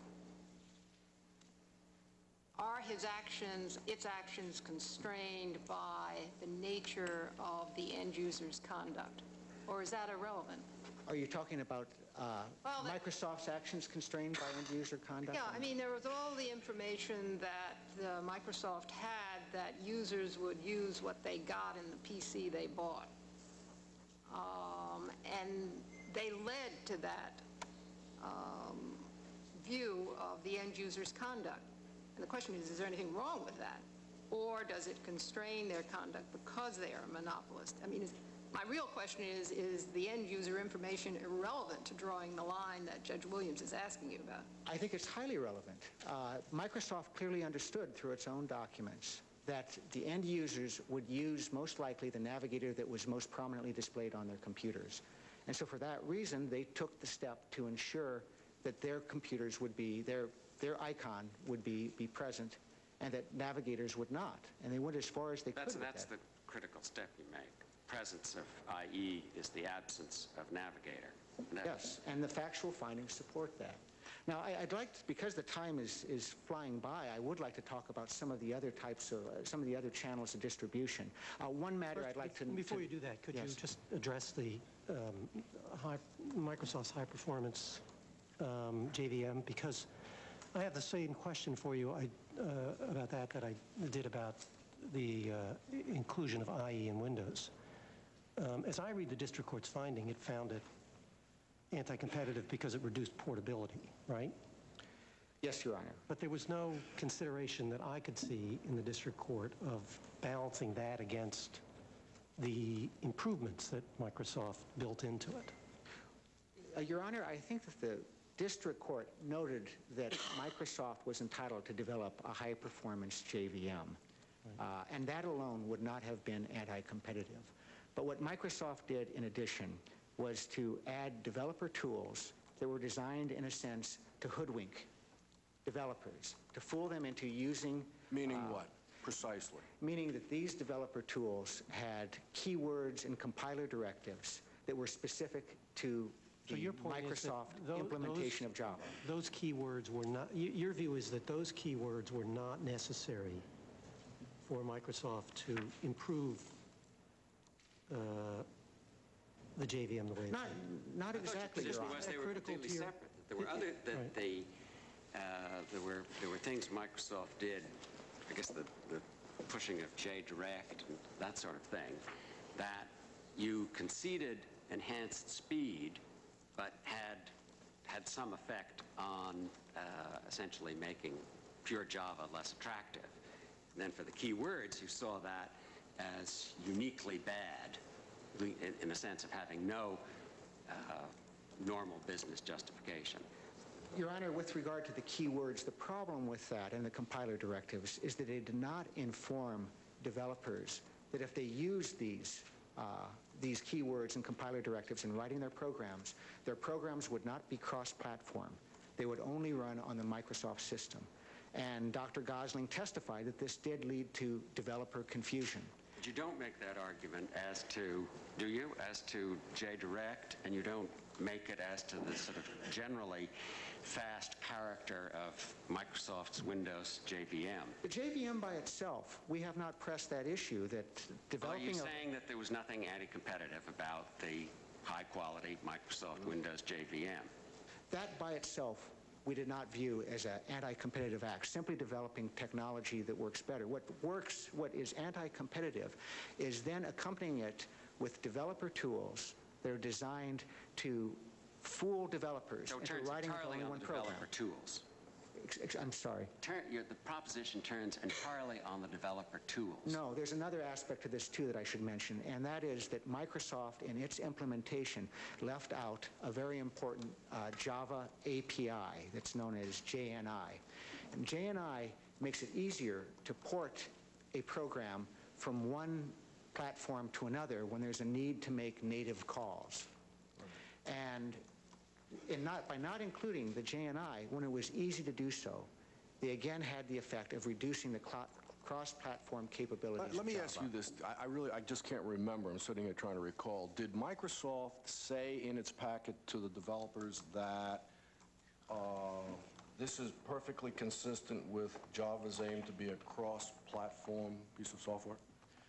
I don't recall, but I believe that their JDirect, there was a preface at the beginning that certainly would lead a user to believe. I can't say that I have a Because clear that becomes recollection. really important. I just don't remember. I have to go back and look at it because Java is clearly a programming tool that may or may not be used for cross-platform purposes, right? Yes. And if Microsoft is competing head-to-head with Java in this, this nascent middleware market, it's not surprising that Microsoft would not write to the cross-platform piece of Java or use Java in that way, that it would write it, use Java, the powerful programming tool, for its own purposes. Yes. The deceit would only be to suggest otherwise, right? Well, yes, Your Honor. Now, where is there something in the record that they suggested otherwise, as opposed to that there being some developers who didn't pay attention? As I, as I said, first of all, Dr. Gosling, who was the creator of Java, indicated that developers were confused. That, that, but that may be, but were they confused because they were not attentive, or were they confused because Microsoft labeled something to indicate, look, this is part of the whole cross-platform uh, uh, Java piece, and we're, we're, we're making an offering. We think it's a little better than what Java's doing, but it's not inconsistent with cross-platform functionality. Your Honor, that I, again, I think that we would both have to go back to look at the preface of, of Java, but in addition, we have the Microsoft internal documents that indicate that this was a specific goal of Microsoft. Oh, I don't have any doubt that they were writing. See, that's the irony in this case. That's what Judge Williams keeps asking you. They're competing. They're not hesitating. They tell you, we're, we're competing with Java, we're competing with Netscape. We all know that. They are competing for the middleware platform. They do not want to give it away. That, that we understand that. S- But it's not, so it's not surprising that Microsoft would take Java and use the programming tool Sans cross-platform. The question then becomes whether these actions of deceit are anti-competitive. no, whether there were actions of deceit, because it's not surprising that they're using the programming tool only to write to Windows. Well, there certainly were actions of deceit from Microsoft's perspective, from its own internal documents. They say such things as subversion is our best, is our best tool. Uh, perhaps I can give you some of the quotes from, uh, from uh, We're getting back to my Get the grocery store. characterization. You get to what- You get to what the acts were that you say were the acts of deceit, not why Microsoft can be shown to have known they were acting nefariously, but what acts is it you're saying are acts of deceit? Well, the, the acts of deceit here are the development of the, of the developer tools that were misleading from an objective perspective. And we add to that that Microsoft knew that because because they did not alert developers that if they wrote using these tools, they would not be writing cross-platform applications. it's not inherently misleading to not tell somebody something. What, what if anything did Microsoft affirmatively do to mislead or deceive? Well, again, this goes back to the discussion that Judge Edwards and I were having, that as I recall the actual representations in the, the Java developer tools, it did suggest that these were going to be cross-platform tools. But again, I would look to what Microsoft's own documents say, GX 1327, where Microsoft's John Ludwig emphasized subversion has always been our best tactic with regard to Java implementation. Uh, a later email, and this is, this is GX 1332, quoted See, problem, the finding of council, council, the problem with that is, and that's what I was trying to suggest earlier, that, that only is helpful if you have conduct that is reasonably confusing and it might, it, it might lend some clarity. Uh, otherwise, you just have the grocery store. Your Honor, I mean, they can kill things, they may have other problems and under other laws, but it doesn't mean that they violated Section 2 of the Sherman Act.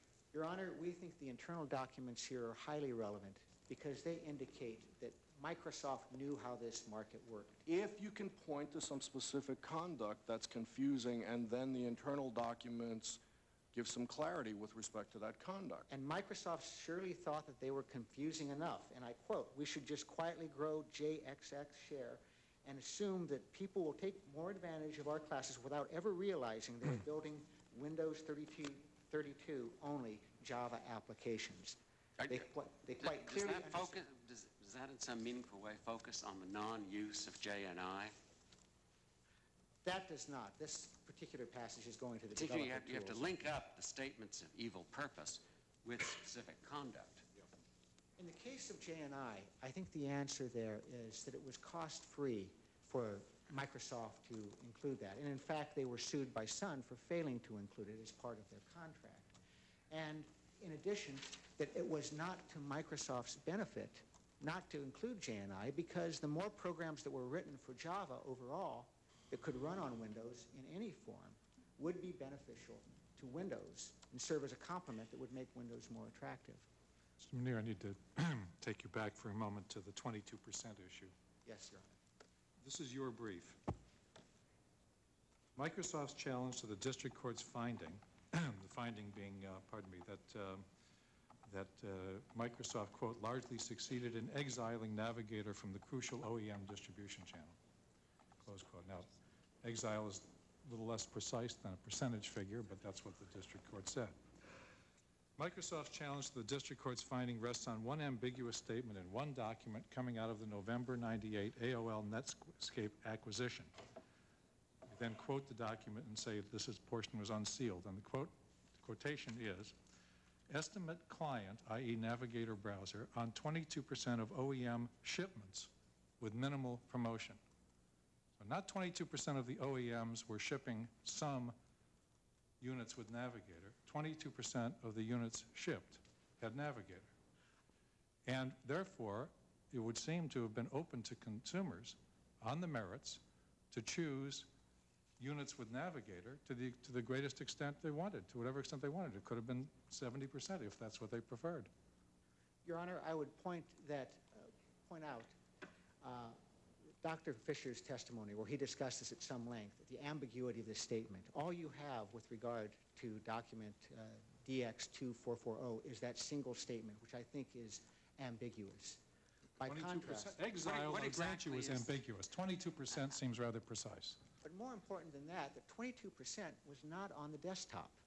And if you examine uh, GX2116, or I've forgotten now whether it's GX or DX, I think it will make that clear. And being on the desktop uh, was of critical importance here.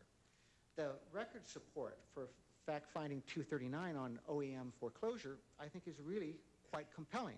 I would point to uh, Mr. Barkda- Barksdale's direct testimony at paragraphs 159 through 161, where he indicated that there was a decrease in the, uh, a dramatic decrease in the availability of, of Netscape.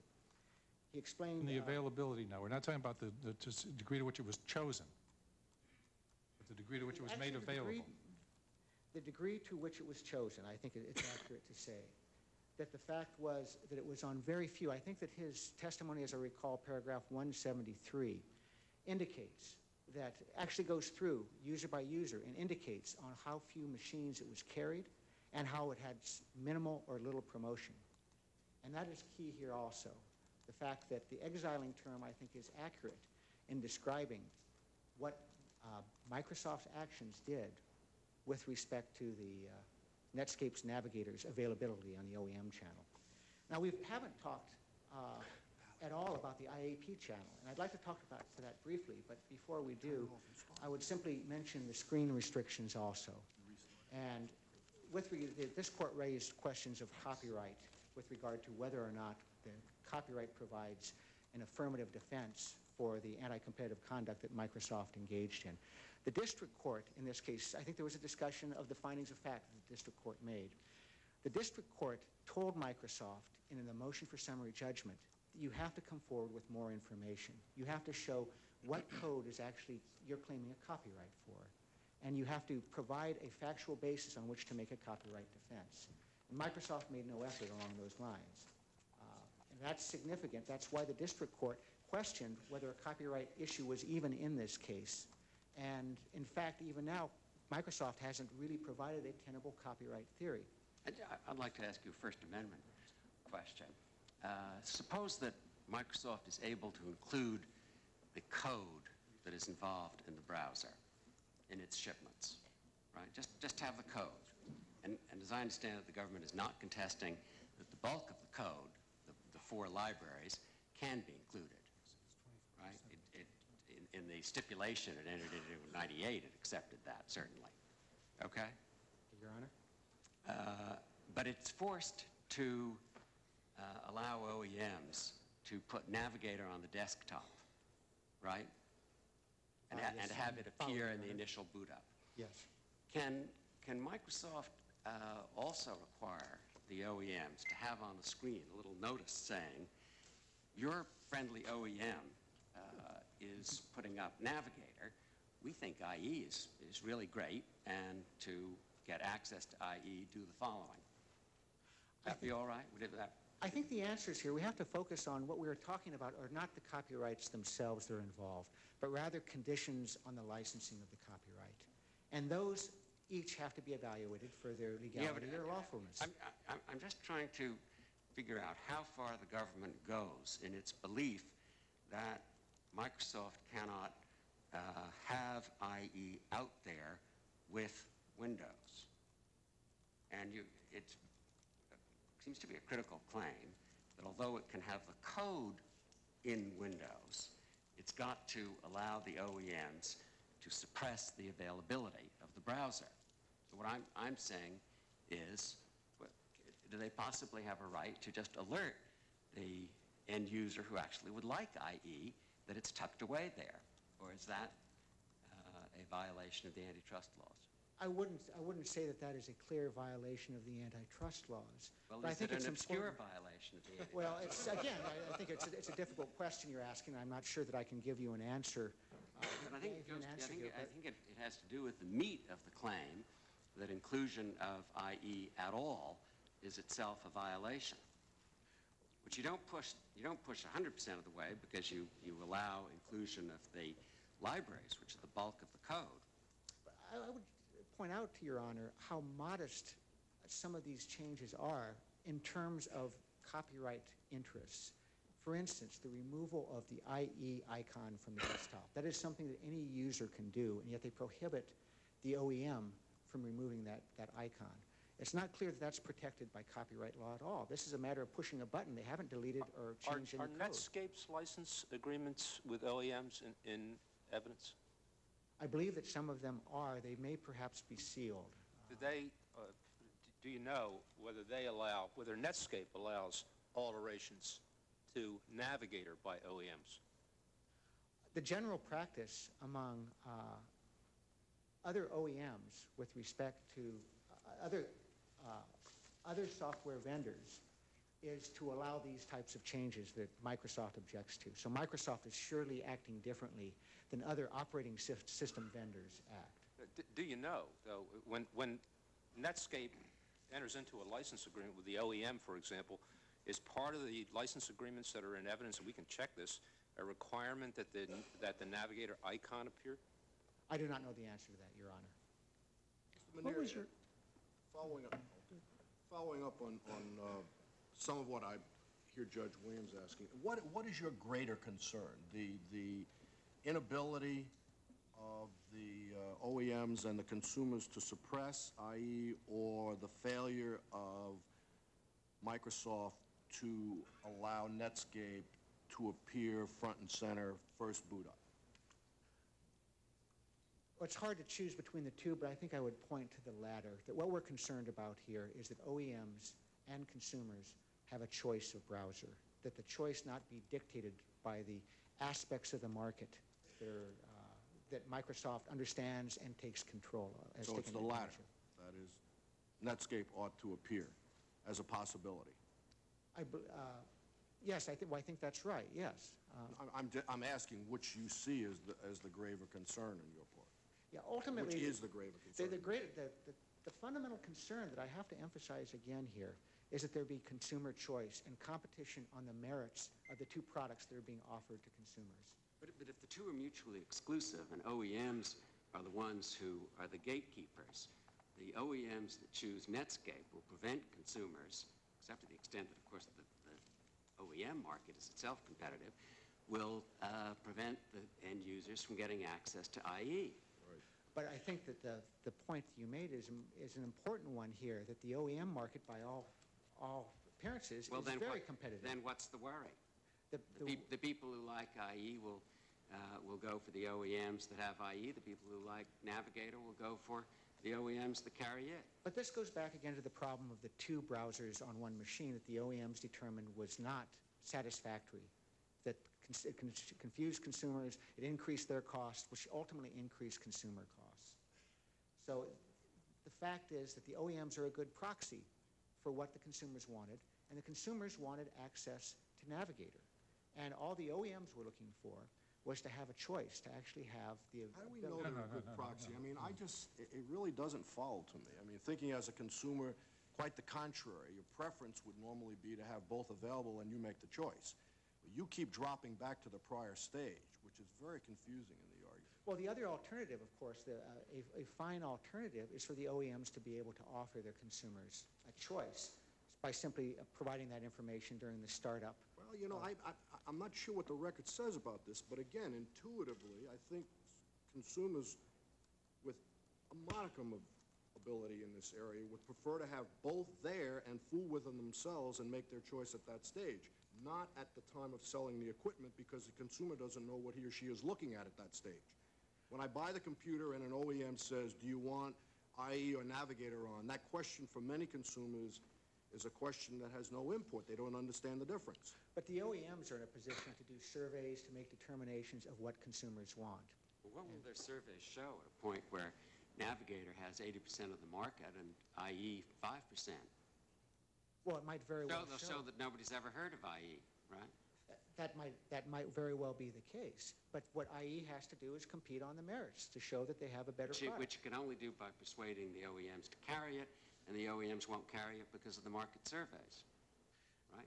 By, as you've just said. But this is the, this is the same constraint that anyone is, faces in a market that's subject to network effects. And the key here is that you do not employ anti-competitive tactics as a monopolist to prevent your, part, your, your product from reaching the end user. And I'd like to speak just very briefly to the IAP channel because I do think that that's important. The contracts that were involved there, I think, are clearly exclusionary. The contracts, the AOL contracts were mentioned before. Uh, this, these contracts basically had five, four critical features. First, they required the, that the uh, AOL distribute Internet Explorer uh, as its default browser. If that alone were all that, uh, all that Microsoft had bargained for, that would not pose a problem. But in addition, those contracts prohibited organizations such as America Online to to respond to questions, to provide an alternative browser unless a subscriber specifically asked for it. And in addition, put a cap on the number of copies of an alternative browser that uh, the AOL could provide. Now, there is no competitive justification for these types of caps. Again, IE is a no-revenue product, so it can't be justified on increasing revenue here. And either browser is likely to improve uh, either browser is likely to improve the attractiveness of Windows. So the, the, the, the revenue generating product, Windows, was uh, enhanced by either browser. This is the type of exclusionary contract, conduct that has traditionally been discouraged by Section 2. On top of that, we also have the types of threats and coercion that were directed to particular OEMs. Ex- Excuse me one second. With, with the cap and AOL, as I understand the record, the, the finding is that the, the users there are the quintessential novices, right? That's correct. And so the cap never really was a constraint. They used whatever AOL shipped. That was in part because they had no way of finding out about the alternative or knowing that it was available on AOL. The ISPs, the Internet Service Providers, and the online uh, service providers, uh, both of those, those groups are generally agnostic with regard to the browser. They want to meet consumer demand. If a consumer wants Navigator, they provide their system with Navigator. If the consumer wants IE, they No, no, the it. evidence is that the consumer doesn't have a preference, the AOL, the AOL user, right? They don't know anything about this choice. Well, I, I'm not sure that the evidence shows that. I think consumers come in, in all fashions, that some are knowledgeable, some are not. But in any event, it is truly peculiar to say that there's a 15% cap on subscribers that come from any source, not simply from the desktop promotion. Now, Microsoft... There's an interesting passage in, uh, in Jefferson Parish, which will bear more perhaps on tying, but has some uh, application here as well, to the effect that, um, here, um, no, sorry, the, the, the, I can't find the quotation, but the, the, the- the passage is to the effect that any, any consumer who knows that there's an alternative is sophisticated enough to choose it. well, I, I think that that's a broad That dealt with generalization, Your Honor. anesthesiologists. Your Honor, I, I think that you, you do go. have to look at the character. The evidence indicates that some uh, surgeons and patient- uh, and patients preferred respondent services to those of Roux. But there's no evidence that any patient who was sophisticated enough to know the difference between two anesthesiologists was not also able to go to a hospital that would provide him with the anesthesiologist of his choice. Your Honor, Now, that's, that's putting the burden on those who would show that the consumer is too stupid to figure this out, which is in this case the government. But if that were the case, Your Honor, but, Your Honor, if that were the case, why would Microsoft impose these restrictions? Why did it impose the requirement that you cannot uh, inform or tell your subscribers if they have an alternative? They have to affirmatively ask. Why did it impose the condition that you cannot convert more than 15%? It's because they They told us it was because, the same reason you gave, they wanted to encourage applications to be written for their, for their browser. They wanted to discourage Navigator usage in order to maintain their monopoly. That is what the district court found, and that is, we, is what we submit was the motivation and the purpose and the effect of those provisions. Mr. Minear, we've had some confusion on the clock. You've got about four more minutes so- so that you have an understanding, okay? Thank you, Your Honor. I think I would just like to turn to the, cu- the cumulative effects of Microsoft's actions, because we've been discussing their actions seriatim, as if each one were an individual, uh, unrelated piece. But as the district court recognized, Microsoft's conduct was not simply a series of isolated, unrelated events, but rather a coordinated course of anti-competitive conduct. And that conduct was directed to maintaining its monopoly power. The district court found that Microsoft spent and forewent vast revenues on numerous fronts in a campaign to discourage Navigator's usage and thereby prevent erosion of the application's barrier. Could I ask you, is it, is it the government's position that the same standard for exclusionary conduct applies under Section 2 as Section 1? No, Your Honor. We do take, in terms of, uh, if you're talking to the exclusionary conduct, let me rephrase that. The district court, we believe, erred in rejecting the exclusionary characteristics of the conducts under Section 1. Uh, Because he said it was total. He said it required total foreclosure. We believe that that was incorrect, but we did not take an appeal on that because the remedy provided the relief that we needed as to that count. But we believe that the Section 2 You, could have taken a conditional cross appeal, couldn't you? Well, we could have, Your Honor, but we oftentimes do not uh, take appeals even though issues may be incorrectly decided. That's a function of the Solicitor So General. that's, so that's going to be settled if, the, if this matter is back before the district court. That aspect will be foreclosed because you didn't, the exclusionary you didn't appeal it. Contracts will not arise again as, as far as their, their status under Section 1. Uh, But in any event, I'd like to point out that under Section 2, those contracts did in fact have an exclusionary impact in the context of our Section 2 claims in being anti-competitive. Now, the district court correctly found that Microsoft's actions were not competition on the merits.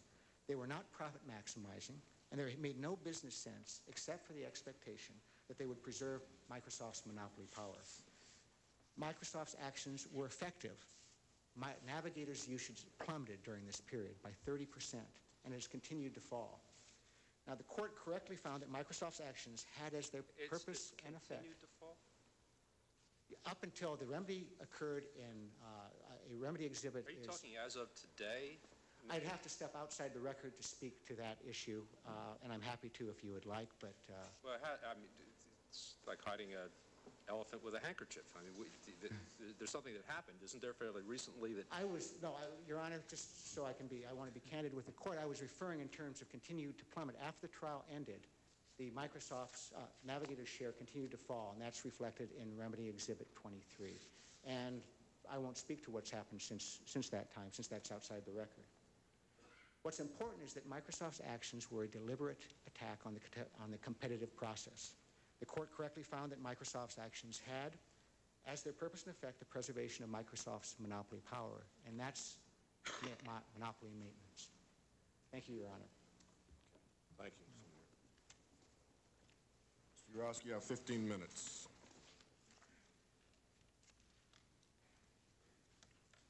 Thank you, Your Honor. Uh, Let me uh, start uh, uh, about where Mr. Minear left off uh, on uh, the uh, Internet access provider contracts, and that would include the AOL contract. The district court found that those contracts were not exclusionary and were not a violation of Section 1, and the district court did not believe that Section 1 was violated if, only if there was complete foreclosure from the market. The district court understood perfectly well, because it said so in its summary judgment position, its summary judgment opinion, that there had to be substantial foreclosure. And that, that- and if there was substantial foreclosure, that would uh, give rise to a violation of Section 1. In fact, the district court found that Netscape was not foreclosed from offering its products literally to every PC user worldwide. That's the phrase that is used, indicating that the district court understood that the market was not segmented on the demand side and that if you could, and that all users could be reached. Uh, Second, on the question uh, of whether uh, developers were in some sense impeded uh, uh, in writing applications for Navigator, uh, I respectfully invite the court's uh, attention to finding 28 entered by the district court, which was that Navigator never exposed sufficient APIs to host personal productivity applications. Uh, Third, uh, as to the meaning of the uh, entry in Defendant's Exhibit 2440, which is Goldman Sachs summaries of the due diligence performed by AOL and Goldman Sachs specifically relating to shipments in the OEM channel. I think the statement is pretty clear that what they are finding is that, that what they have found is that Navigator was present on 22% of shipments in that channel with uh, little uh, uh, uh, effort, uh, with li- little effort being made and, and little promotion effort being made. And if you look just below that entry on that page, you will see that specifically it says that, Nav- that Netscape was not paying anything to what about just above that entry? There's something called the, it's 40 million in the mirror market, what, what does that mean? Yes, uh, yes, Your Honor.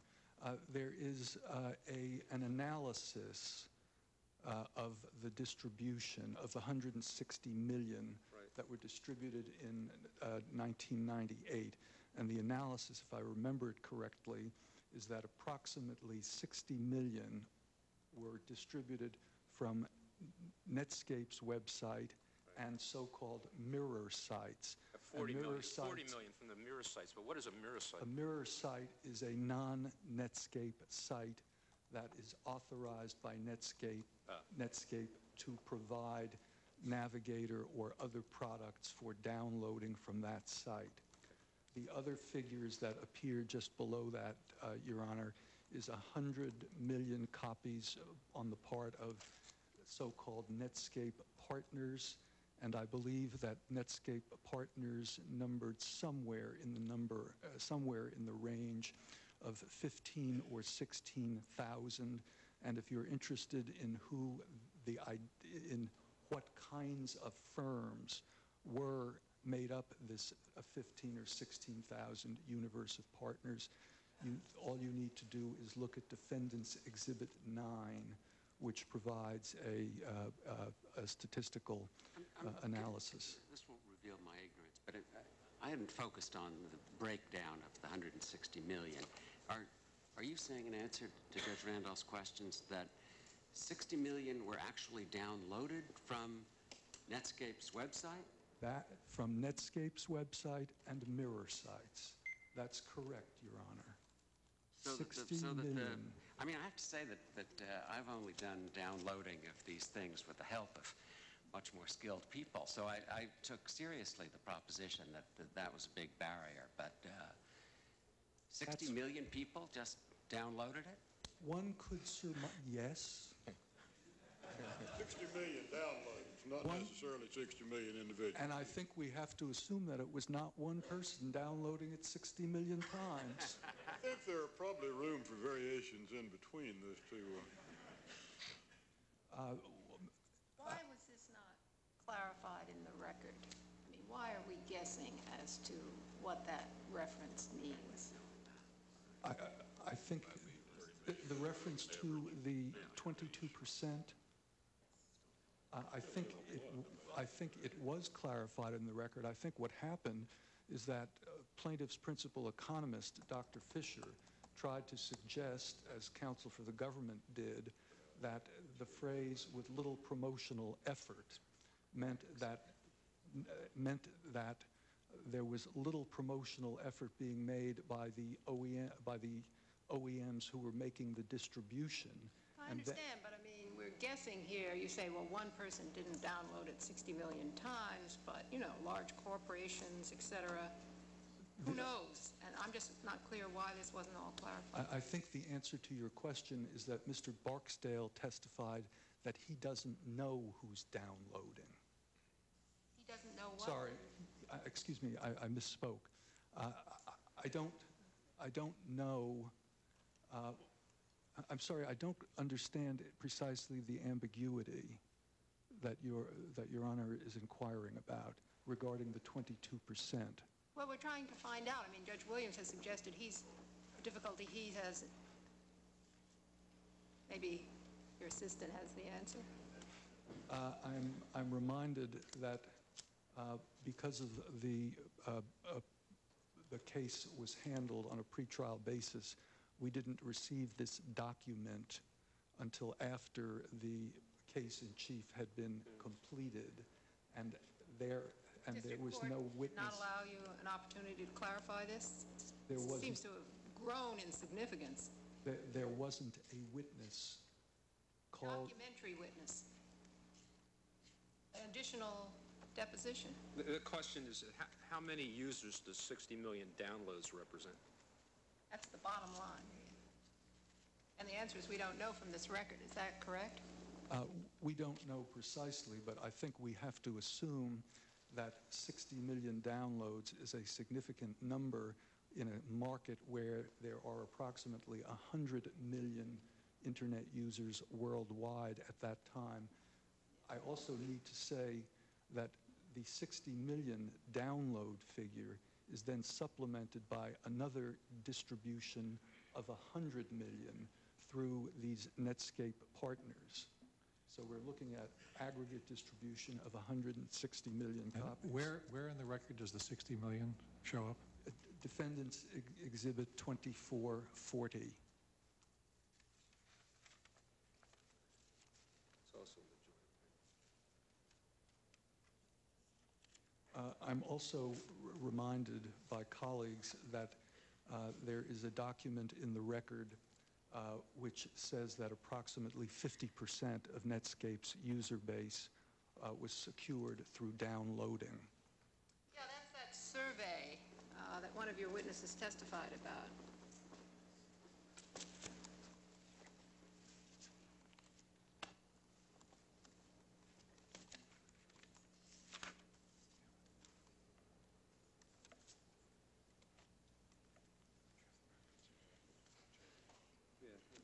Uh, Your Honor, I think it's Defendant's Exhibit 2583, and I believe that's, I believe that's an internal Netscape document uh, because of the uh, code number, and it would be at page 36457. This is, this is the 60 million? That is for the 50% of their user base being secured through downloading. To respond to a question you asked earlier, Judge Williams, if our supposition is correct that Netscape was securing this level of distribution through downloading and through its partners, it would make perfect sense not to rely on the OEM channel for distribution uh, if that required paying the OEMs. Now, eventually, Netscape came to a point in January of 99 where they did uh, enter into an agreement with Compaq, which I mentioned earlier, uh, which was essentially a barter agreement. Compaq uh, preloaded uh, Navigator on the Presario. But by this time, Mr. Urowsky, uh, this is 98, or was, what, what year was the, the uh, Goldman Sachs document created? Late 1998. Yeah, but by that time, Windows or Microsoft was giving it away, right? I mean, they, they really had no other choice but to, but to give it, Netscape did. That's, that's correct, and they began free distribution in uh, January, uh, sorry, in January of 98, I think. And that was in response to Win, or to Microsoft not charging. That's correct. The, the, the standard that uh, all this is ultimately directed to, as I recall, but I may have been confused, is whether there was a substantial amount of commerce foreclosed, correct? That's, cor- that's correct. And you're saying no because people who wanted Navigator got Navigator. That's correct. Why isn't the appropriate measure of whether a substantial amount of commerce was foreclosed, whether revenues dropped from whatever it was to close to zero for Becau- Netscape? Because in this business, th- there is frequent free distribution of products which are offered in connection with other products or services that generate the revenue.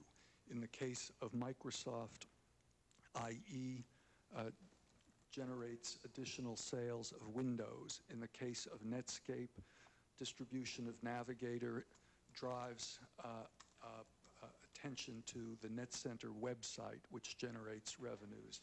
Uh, In the case of Yeah, but I- I don't understand why that's, because of that, what you're saying about this market, why that is an answer to, uh, to the, the legal question of how one measures foreclosure when asking, was there substantial foreclosure? I think that what, if there is substan, is substantial foreclosure, it has to be of distribution, meaning that the supplier was unable to reach the public, and that it's, and that you may measure that in markets uh, uh, where pro- products are distributed at a, at a positive price in revenue. In markets where it's not, it seems much more sensible to look at it in terms of units. And our contention is that Netscape was not foreclosed. Yeah, you know, I think, Mr. Urowsky, that maybe, maybe this lies underneath your answer, but I, I would think that, that it would be more productive to search for an explanation in terms of whether we're talking about consumer welfare or competitor welfare. And in this context, as opposed to tying, I think we're still talking about consumer welfare, which suggests that we should be looking at consumers' access to the units and not Netscape's revenues from the units. That's, that's my Now, that view. may, may not carry over into, may or may not carry over into tying, which is something of an outlier within the antitrust universe. Mr. Urowsky, your time is... May I, may I ask one question? I- If, in fact, 60 million users or somewhat less than that downloaded Navigator in 1998, then how can it be that Netscape's market share dropped so precipitously? because the market was exploding, and therefore, even though Netscape's share declined, the absolute number of users increased dramatically. You said there's 100 million users. 100 million users overall. Worldwide. wor- Worldwide, in, And the some of, some navigators are being shipped on OEMs, and, and some, and 60 million, uh, uh, 60 million downloads. So how can, how can their market share be down to whatever it was, what, 15%? Not 15% down, uh, in, in 1998, it Yeah. would have been approximately 50, five zero Oh, percent. fif- okay. Uh, And that would represent a, a, a fairly dramatic increase in the base of users. The district court says uh, 15, um, from 96 to 98, from 15 million to 33 million. Right. There is a better number, I think, certainly a consistent number in Defendant's Exhibit 2440, which is roughly 38 million, and this is the Goldman's, again, the Goldman Sachs But when the record summaries. closed, what was Netscape's uh, market share? Uh, I think around 45%. Uh, But the, go- Excuse me, that, has that measured as usage? that's correct. So Obviously, another explanation is people were downloading it but didn't use it because they thought, didn't like it. That's correct.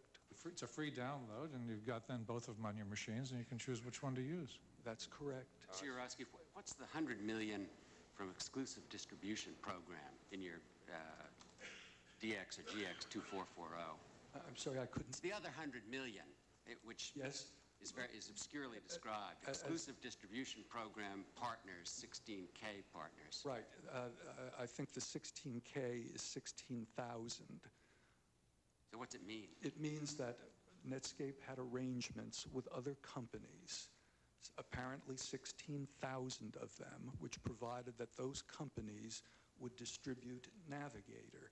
And uh, the reason I invited Your Honor's attention to defend, Defendant's Exhibit 9 is that that contains a kind of at least rough statistical breakdown of what kind of company, what kind of firms were in this group of 16,000 distribution partners.